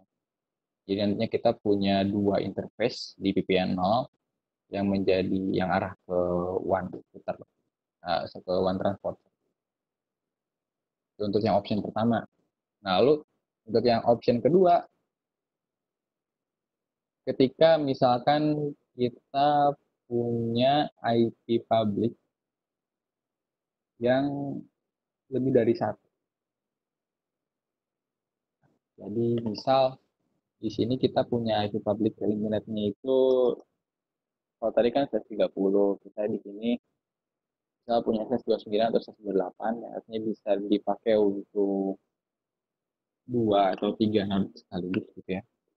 Di sisi H2 di sini punya satu IP public, di H1 di sini punya satu IP public. Yang artinya nanti sisi H2 itu hanya punya satu pilot ke arah subnet B ini, ke arah VPN 0 yang ke atas ini.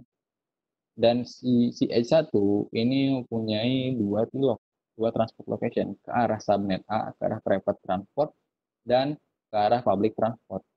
Nah, ada pun nanti si VPN 1 kalau misalkan mau ke private transport ya itu kayak tadi sama gitu ya.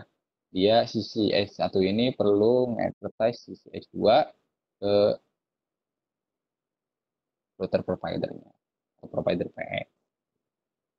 Jadi sebenarnya eh, dua yang tadi ya desain dua saya option satu sama option dua ini hampir sama menggunakan dua CH hanya saja bedanya ketika misal kita punya punya lebih dari satu IT public. Gitu. Karena kan kita nggak mungkin nih atau misalkan terlalu costly kalau menambah satu link lagi ke sini karena ini private ya ya udah mending kita pakai yang ada aja karena kan biasanya kan tetap tetap desainnya seperti ini hanya saja nanti secara underlay si H2 bakal lewat ini dulu baru nanti lewat ke atas. Ya. Itu untuk desain option 2. Nah, sampai sini ada pertanyaan? Sebelum kita lanjut ke pembahasan kita selanjutnya, yaitu PH router bring up sequence. Jadi nanti di pembahasan ini kita akan lebih banyak bahas gimana sih proses dari awal PH router ini dipasang gitu ya terus connect nanti connect ke mana dulu ke mana dulu ada proses apa dulu terus nanti setelahnya itu baru bisa connect ke control panelnya Pismart atau misalkan nanti bisa di manage oleh sistemnya. Jadi insya Allah kita akan lebih jelaskan lagi di sini. Tapi sebelum itu mengenai yang tadi apakah ada pertanyaan?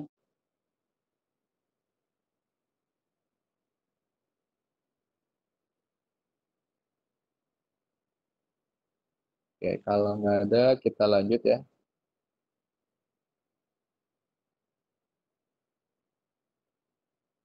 Kalau misalkan nanti ada pertanyaan yang mungkin mau ditanyakan, pengen tanyakan, tapi agak sedikit ini gitu ya, agak sedikit malu atau apa gitu saat speaker sekarang, boleh nanti ditanyakan di grup. Kita kan punya di grup Telegram tuh, nanti kita bisa pakai grup sebagai diskusi. Oke. Oke, kita mulai.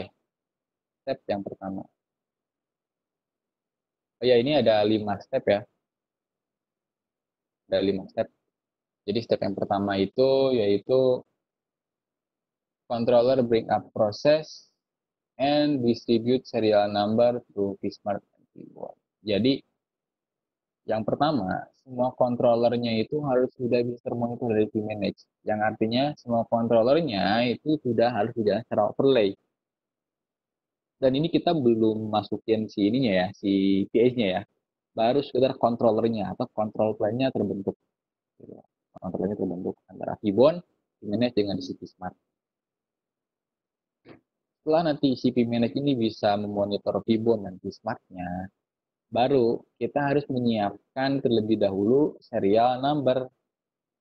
Serial number di sini gunanya yaitu untuk meregistrasi si VS-nya nanti. Jadi di serial number ini bentuknya seperti list ya, list VH yang akan dimasukkan nanti oleh si ininya si, si VH-nya pada saat nanti mau registrasi ke Citybond, nah serial number ini harus valid. Nah, dapat bentuk dari serial number ini seperti ini. Saya lihatin ya.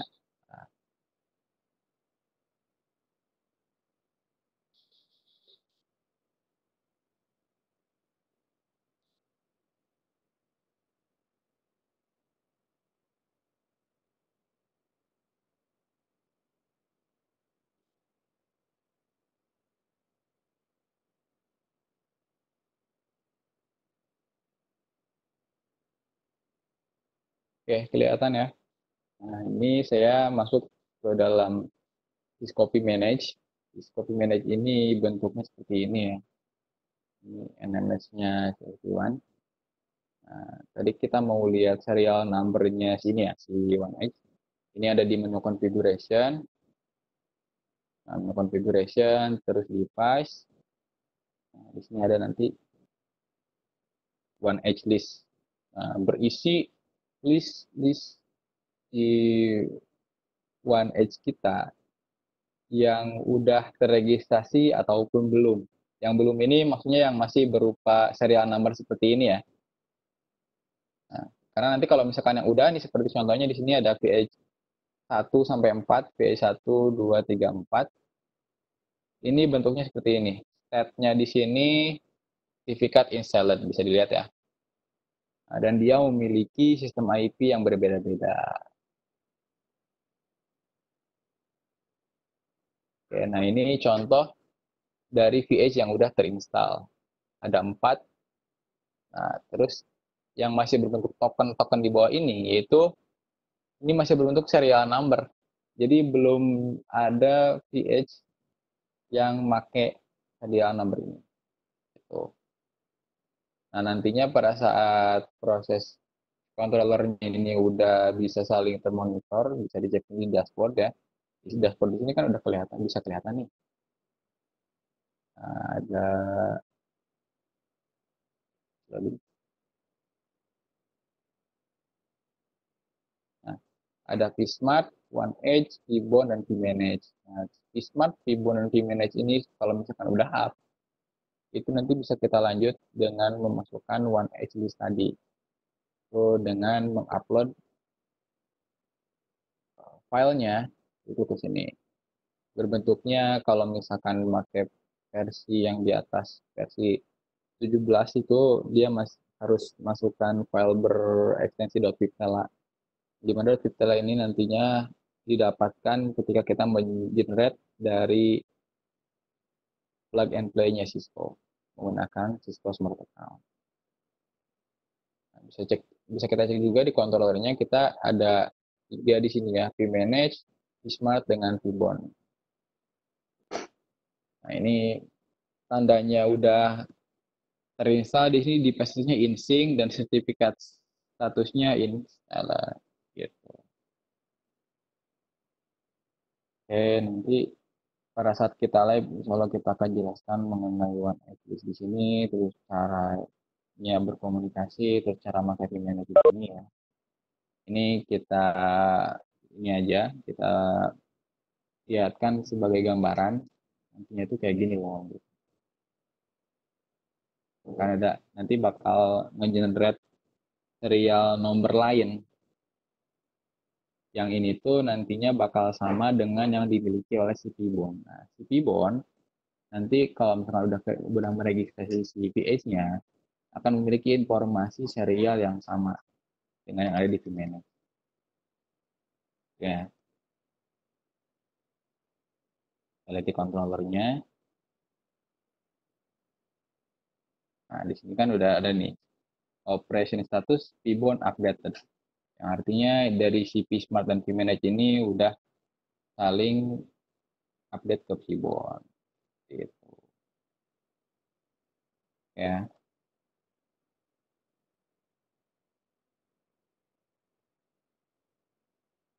Lanjut. Oke. Tadi baru nyampe step 1. Jadi serial number ini berbentuk list PH yang di-generate oleh Cisco Customer Support di plug and play portal atau PNP, tepatnya di software.cisco.com. Lalu serial number ini perlu diupload ke dalam vManage sebagai one edge list yang kayak tadi ya, bentuknya list list serial number gitu. Nah, selanjutnya si vManage akan membagikan list tersebut kepada controller yang lain, yaitu Pibon dan Vsmart. Yang nantinya pada saat ada yang registrasi, ya udah tinggal ke Pibon gitu kan. Saya mau mau masuk nih, misalkan kan udah di Pibon udah ada nih data-datanya. Nah, nanti tinggal divalidasi aja apakah serial number yang dia punya dan sertifikat yang terinstall sama dia itu bisa divalidasi atau statusnya valid atau enggak. Gitu. Nanti si Pibon yang menentukan itu. Tadi kan yang pertama controller udah bisa jalan semua ya, udah overlay. Terus serial number juga udah ada di vManage, sudah kita upload, udah dibagikan juga ke Pibon Smart. Nah, yang kedua, PH yang mau kita pasang itu minimal harus bisa resolve DNS-nya si Pibon. Nah, ini dilakukan ketika kita misal pakai Pibonnya itu posisinya ada di internet ya, publik punya IP publik sendiri. Nah, IP Edge itu wajib bisa berkomunikasi dengan Pibon. Pertama, mau itu dengan cara ping gitu kan atau resolve dari DNS server ke IP-nya si Pibon. Nah, Pibon ini kalau dalam implementasinya itu disarankan itu mempunyai Pibon lebih dari satu.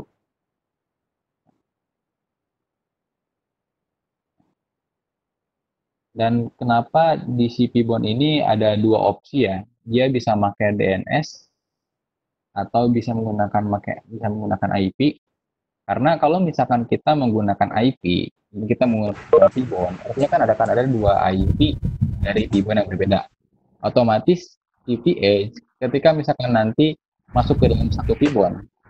Nah, misal si PH ini tuh connect ke Pibon 1166 yang belakangnya 166 satu PH itu hanya bisa diassign ke satu IP bond. Kecuali kalau misalkan kita pakai DNS, nanti si DNS bisa resolve ke beberapa IP.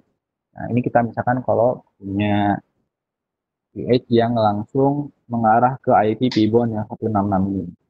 Ketika yang Pibon 166 ini mati, nah artinya nanti si PH di sini harus mengubah secara manual Pibonnya harus diarahkan ke yang 68 ke Pibon kedua. Gitu.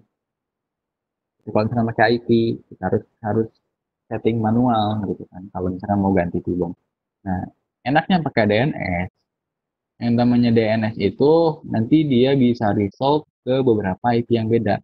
Jadi misal DNS di sini DNS Pibon com gitu ya itu bisa resolve ke yang 166 tadi dan atau ke 68 tadi. Jadi ketika nanti si OneEdge di sini menggunakan Pibon.com sebagai identifikasi Pibonnya, sebagai nama Pibonnya, ya udah si pibon.com nanti bakal milih IP satu IP aja yang untuk di resolve ketika nanti ada IP IP yang udah di resolve tersebut mati gitu kan dia masih bisa resolve ke IP yang lain gitu karena di DNS server di sini kan kita udah bikin si pibon.com ini untuk bisa resolve ke lebih dari satu IP gitu. Jadi disarankan menggunakan DNS agar dapat resolve ke beberapa IP yang berbeda. Oke. Itu untuk yang step nomor 2. Sekarang masuk ke step ketiga. Step ketiga ini pada saat di one edge routernya ini udah masuk ke dalam proses registrasi resipi bond. Nah, di sini CP ini kan sebagai pintu pendaftaran dari VH ke jaringan SD-WAN. Karena kan yang registrasi nanti kan CP bond. Nah, lalu apa aja sih yang diperlukan sama CPH untuk mendaftarkan dirinya kepada jaringan SD-WAN gitu lewat Pibon?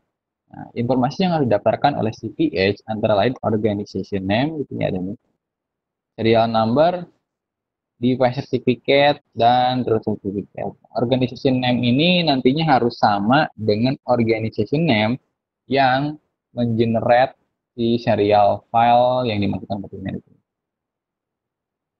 Nantinya kan di Cisco Smart Account, di Cisco portalnya itu kan kita bakal masuk ke Smart Account tuh.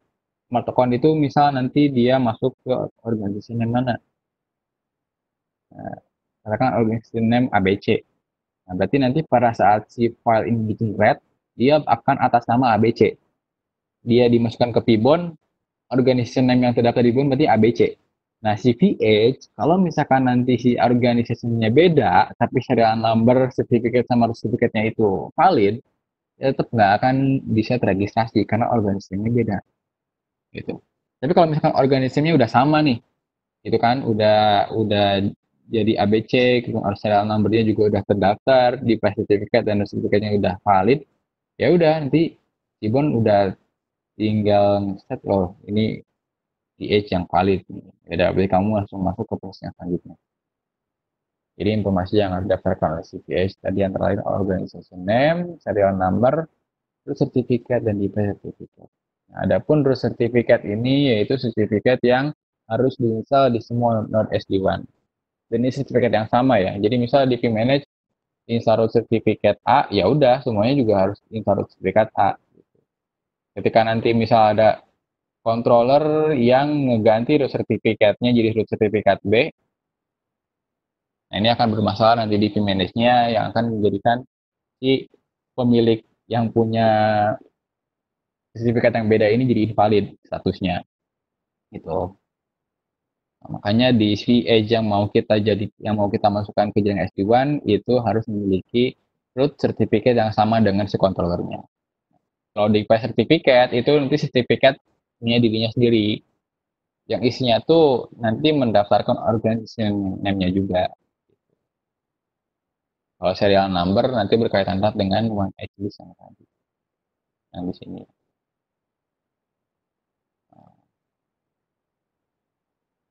Nah, adapun nanti koneksi dari VH ke Pibon, VH nanti akan membentuk DTLS tunnel dengan Pibon gunanya agar informasi yang dikirimkan ini informasi yang tadi ya informasi yang ini itu aman gitu ya. Informasi yang dikirimkannya itu terenkripsi menggunakan RSA dan AS256 ini udah bawaan dari sananya nah, jika informasi VH sudah divalidasi dan terautorized oleh Pibon selanjutnya VH harus memverifikasi sertifikat yang dimilikinya dengan si Pibon nah nantinya ini kan si sertifikat yang udah dimasukin sini ini si truth certificate itu nanti kan dipakai untuk nyamain dengan si Pibon. Ketika sama ya udah di sertifikatnya harus diinstal atau harus di daftarin ke si Pibon. Makanya nanti tadi kan ada tuh sertifikat installed. Nah itu artinya satu sertifikat installed itu sertifikat si device-nya itu udah udah terdaftar di Untuk step nomor tiga, pendaftaran Nah, ini bentuknya nanti pada saat di Pibon. Serial numbernya itu seperti ini. sama ya, sama seperti yang formatnya sama seperti yang tadi di di manage karena dia kan sinkron. Nah, chassis number ini itu bisa dibilang kayak nomor perangkatnya Cisco gitu ya. Jadi satu perangkat itu kan nanti punya chassis number yang berbeda-beda dengan perangkat yang lainnya. Yang pastinya chassis number ini nanti berkaitan dengan serial number yang harus didaftarkan ke si Iwon. Gitu.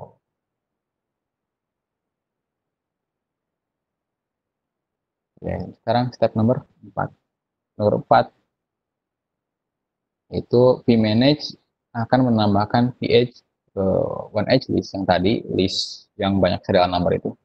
Setelah serial numbernya ini berhasil divalidasi oleh Pibon. Jadi ketika step 3 ini udah dilewati oleh si PH dan berhasil gitu ya, udah valid, Pibon udah menyatakan valid.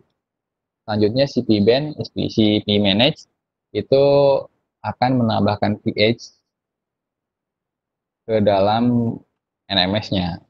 Jadi si pH nanti bakal kelihatan di vmanage. Gitu kan. Nah, jadi tadi kan pada saat dashboardnya ada tuh si one edge-nya itu 4 gitu kan. Nanti kalau kalau udah nambah lagi udah valid di Vibon-nya nanti akan nambah lagi 175 gitu kan. Nah, itu terjadi ketika si pH-nya ini udah tervalidasi sama si Vibon, terutama serial number-nya ya. Mengenai sertifikatnya itu valid atau enggak, nah itu di proses selanjutnya. Jadi serial number udah udah oke, okay, baru P-Manage nambahin. Ketika udah ditambahin ke P-Manage, baru si PH akan validasi sertifikatnya dengan Vibon. Vibon nanti bakal laporan lagi ke si P-Manage, apakah sertifikatnya si PH ini udah valid atau belum gitu kan. Kalau udah valid ya udah di V manage nanti akan ada statusnya itu sertifikat installer. V manage menganggap valid dan sertifikat installer maka VH statusnya akan um, jadi ada ketika pernah ya, kalau misalkan nambah VH itu udah serial numbernya udah masuk ke V manage tapi ketika install sertifikat itu gagal sertifikat filer di situnya. Nah, itu nantinya dampaknya di vmanage itu inventory-nya nambah satu, one edge-nya, tapi bakal down. Karena sertifikatnya itu nggak berhasil divalidasi. Nah, itu bisa jadi ada masalah pada saat issue sertifikat atau pada generate device sertifikatnya. Nanti pada saat deployment ini penting nih di sertifikat. Pertanyaannya sertifikat-sertifikat ini itu didapat dari mana? Kan gitu. Kalau tadi kan serial number didapat dari portalnya Cisco nah kalau sertifikat ini dapat dari mana? Dapat dari training gitu. Atau seminar enggak ya jadi sertifikat di sini tuh nanti didapat dari server CA atau server sertifikat authority atau lebih simpelnya itu kalau di Linux itu kita bisa ngaktifin namanya OpenSSL ya. Nah itu kita bisa bikin dari situ tuh. Bikin lewat OpenSSL. Nah nanti bentuknya seperti ini ya kalau misalkan udah masuk ke vmanage dan udah valid sertifikat installer seperti tadi. Oke. Untuk step 4 ini ada pertanyaan?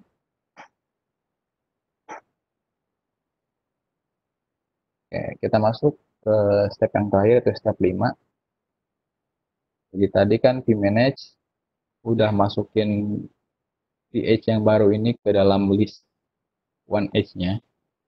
Nah, untuk di step 5 ini, ketika di vmanage udah oke, okay, sertifikat installed, ini belum tentu CVH ini masuk ke dalam jaringan SD1 secara keseluruhan. Karena dia baru terdaftar. Dikatakan running atau dikatakan up gitu ya statusnya bisa dipakai ya, operasional ketika dia udah bisa terkoneksi dan membentuk OMP dengan si Pisma. Nah, ini Vsmart ini paling gitu terakhir nih. Ketika semuanya udah oke, okay, nih Pibon oke, okay, Pmanage oke, okay, gitu kan. Baru sama si Vsmart nih urusannya. Jadi ketika si VH ini nanti udah bisa komunikasi dengan vSmart, protokol OMP-nya harus dipastikan up. Nah, kalau misalkan nanti si vSmart nganggapnya ini si VH-nya ini nggak valid, atau misalkan nanti ada masalah pada saat koneksi dengan vSmart, nantinya di CP Manage itu sertifikat udah diinstal, udah udah kelihatan diinstal seperti ini, hanya saja protokolnya itu down gitu. Jadi dia masuk ke jaringan SD-WAN, tapi di jaringan SD-WAN tersebut dia nggak bisa dipakai karena kontrol plan-nya itu belum terbentuk dengan CP Smart. Jadi ini penting nih yang terakhir ini. Ketika misalnya nanti udah masuk ke SD-WAN, yang terakhir itu harus dipastikan kontrol plan di sini terpisah dengan yang namanya data plan. Itulah kenapa titel pertemuan kita yang kedua ini SD1 from scratch karena membahas dari awal deployment CPH itu nyampe operasional, nyampe terbentuk control plan-nya. Gitu. Oke. Dari yang tadi kira-kira ada pertanyaan nggak? Karena kita bahasan untuk pertemuan kedua ini udah disebutkan ya sebelum saya tutup, silakan kalau ada yang bertanya.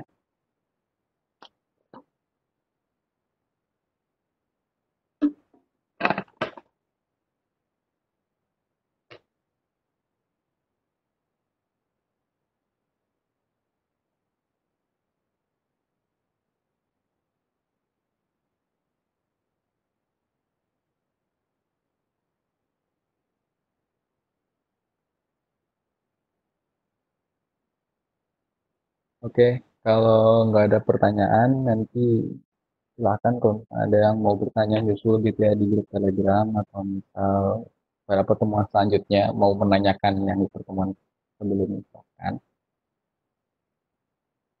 Silahkan ini mau tanyakan diskusi. Mungkin materi untuk pertemuan kedua ini mengenai S2 from scratch dicukupkan sekian. Semoga bermanfaat. Di, mas, mas harus di review dulu deh coba deh itunya apa slide-slide coba di scroll up dulu dari awal. Oh boleh boleh.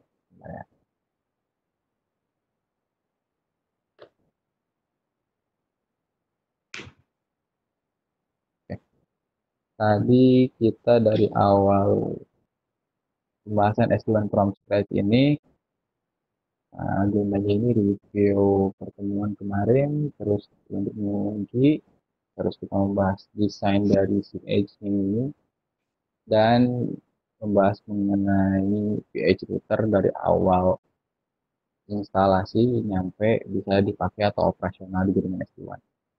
Adapun SD-WAN terminologi ini ada banyak ya. Ada beberapa juga yang mungkin baru kita dengar belum pernah kita dengar. Nah, yang di sini ada GTP.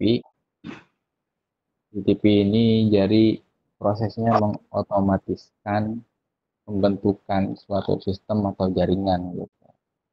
Mau itu kita pas install atau mengkonfigurasi. Kalau sifat otomatis itu dia namanya GTP karena istilahnya kita nggak sama sekali menyentuh langsung ke perangkatnya. Gitu. Makanya dinamakan zero touch provisioning.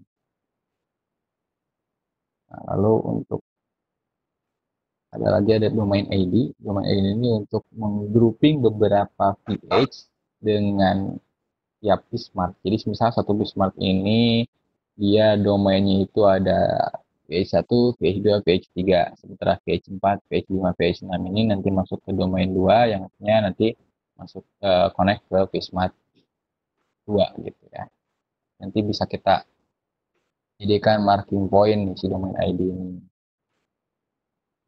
Nah, kalau kita, kita membahas mengenai overlay, jadi katakan overlay itu ya karena ada underlay-nya. Sementara underlay-nya SD1 Cisco ini yaitu berupa one transport pada umumnya. Nah, itu lewat PLS, sifatnya private publik dan lain sebagainya. Nah, jadi di atasnya ini jalan koneksi overlay yang di mana koneksinya ini antara data plan dengan controller atau antara VH dengan controller.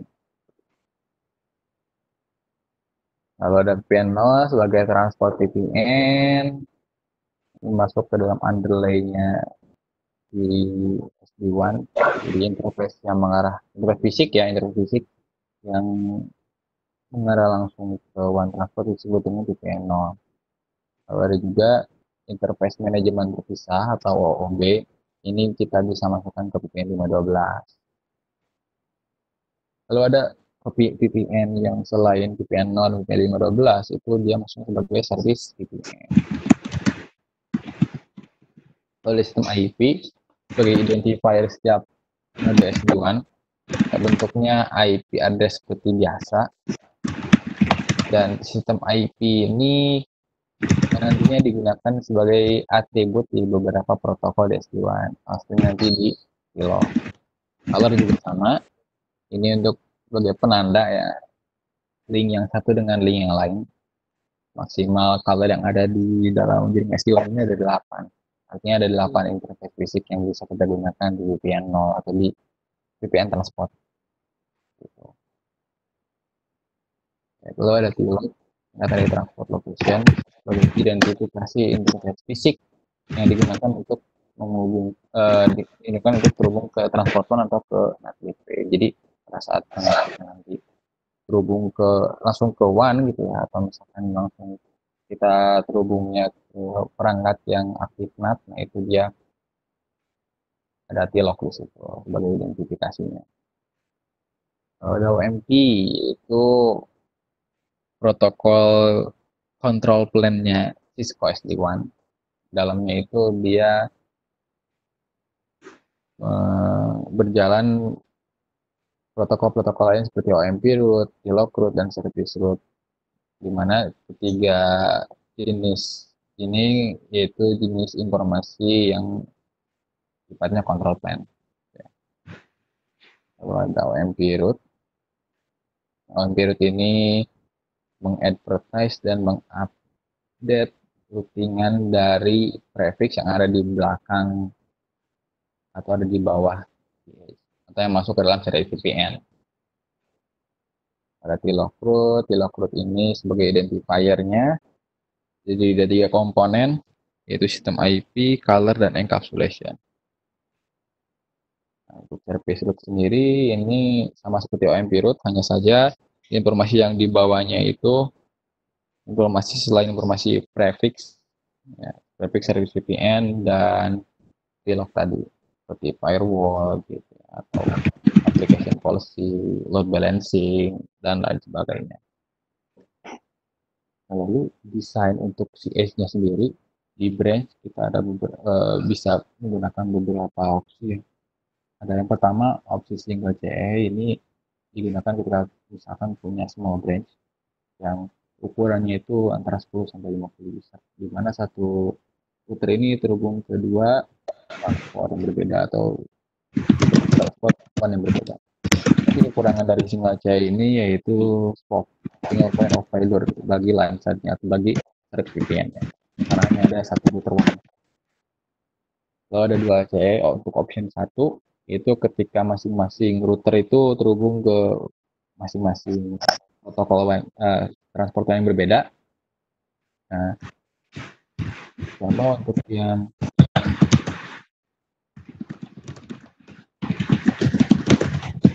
untuk yang CH2 ini terhubung ke public transport dan CH1-nya ini terhubung ke private transport. Jadi keduanya ini bisa saling terhubung ya bisa pakai dua transport yang berbeda. Dengan catatan di sini CH1-nya itu mengadvertise CH2 BGP ke provider P sementara CH2-nya ini ngenak CH1-nya karena pada desain ini kita kita mempunyai satu lagi public gitu. Ya, untuk option yang kedua, ketika misalkan kita punya IP public lebih dari satu. Jadi di sini misal si E1 ini berhubung langsung ke dua transport yang berbeda yaitu private sama public. Sementara si H2 ini daripada dia nambah link lagi nama link private gitu ya, sangat costly. mendingan dia pakai udah ada yaitu cara underlay dia ke private transportnya ini lewat si Edge 1 gitu. nah, lalu untuk bring up sequence-nya yang pertama di sini controllernya harus sudah overlay dan serial number-nya ini udah double manage lalu di step kedua Edge ini udah wajib komunikasi dengan Tibon dengan cara CPS-nya ini bisa lewat IP atau DNS. Tapi disarankan menggunakan DNS karena dengan menggunakan DNS bisa memiliki lebih dari satu IP, gitu ya. Nah, untuk ke step 3 yaitu mendaftarkan CPS-nya ke Tibon. Adapun informasi yang didaftarkan itu organization name, serial number, certificate, dan device certificate. Nah, nantinya akan seperti ini ya di Tibonnya bentuknya kalau misalnya udah dinyatakan valid setelah itu baru dimasukkan ke Pmanage. Nah, di Pmanage ini nanti bakal divalidasi nih sertifikatnya nih sama si Pibon gitu. Nanti dasar dari si Pibon kalau misalnya udah valid sertifikatnya ya udah di Pmanage berarti statusnya bakal sertifikat installed nah, lalu di step terakhir ketika Vmanage dan Tibon udah nyatakan ini oke, okay, sertifikat dan serial number udah diinstal, sudah terpasang, barulah control plan yang harus bisa terhubung antara si PH dengan Smart. Dari sini baru dikatakan SD-WAN-nya ini udah overlay, atau udah operasional.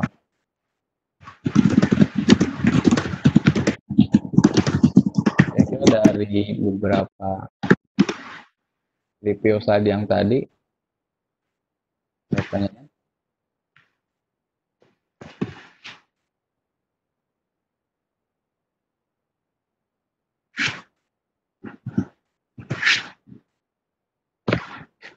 Oke, untuk yang nanti kalau misalkan ada yang ini ya, yang mau baca-baca mengenai slide ini nanti saya share juga versi PDF-nya.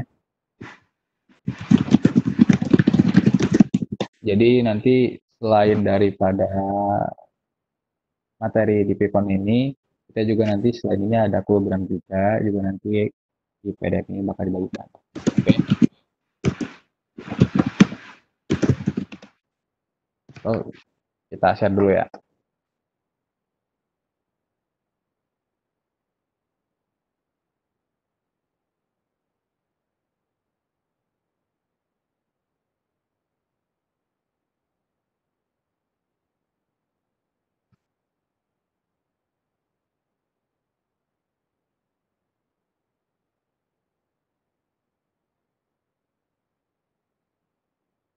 Oke, sebentar saya share dulu.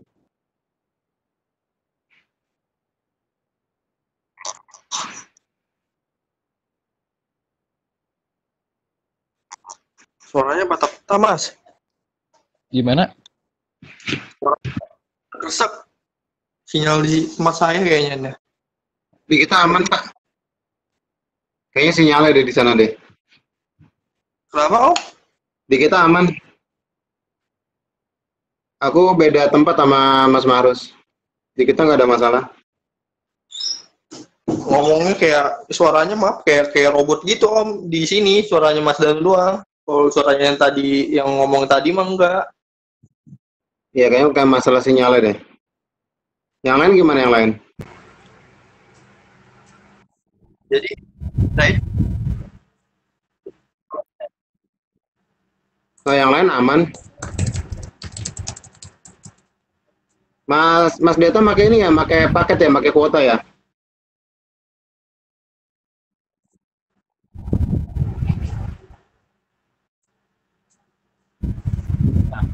Untuk mau baca-baca mengenai materi yang tadi itu saya udah share ya di grup PDF-nya.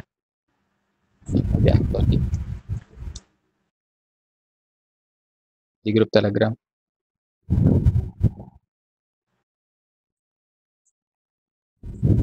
Ini ada pertanyaan ini dari. Apakah langkah tadi saya tadi terkait langsung dengan GTP?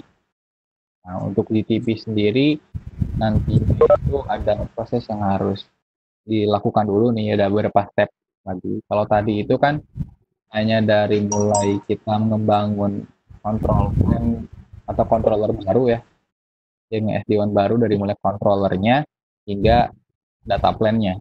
Nah, untuk GTP-nya sendiri, nantinya ketika misalkan controllernya itu udah sering berhubung dan ada salah satu PS yang udah berhubung juga, itu nanti ada beberapa step yang harus dilakukan agar GTP-nya ini bisa terbentuk atau bisa berjalan. Oke, itu materinya udah di-share sama Mas Maru. Silakan kalau misalnya mau review-review slide-nya, kalau masih ada pertanyaan silakan masih bisa ditunggu. Mungkin kita tunggu 5 sampai 10 menit. Kalau misalnya emang nggak ada pertanyaan, kita akhiri ya.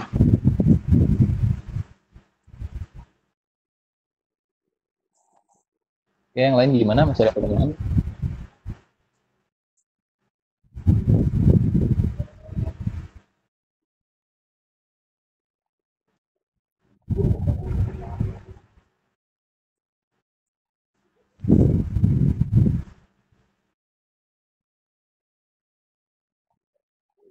Oke, kalau nggak ada mungkin materi di pertemuan dua kali ini dengan scratch diberikan sekian. Mohon maaf ya ada kekurangan. Kalau ada yang tanya silakan nanti bisa di telegram aja ya. Atau misalnya di pertemuan selanjutnya boleh. Bermanfaat. Wabillahi. Wassalamualaikum warahmatullahi wabarakatuh. Waalaikumsalam warahmatullahi wabarakatuh. Terima kasih.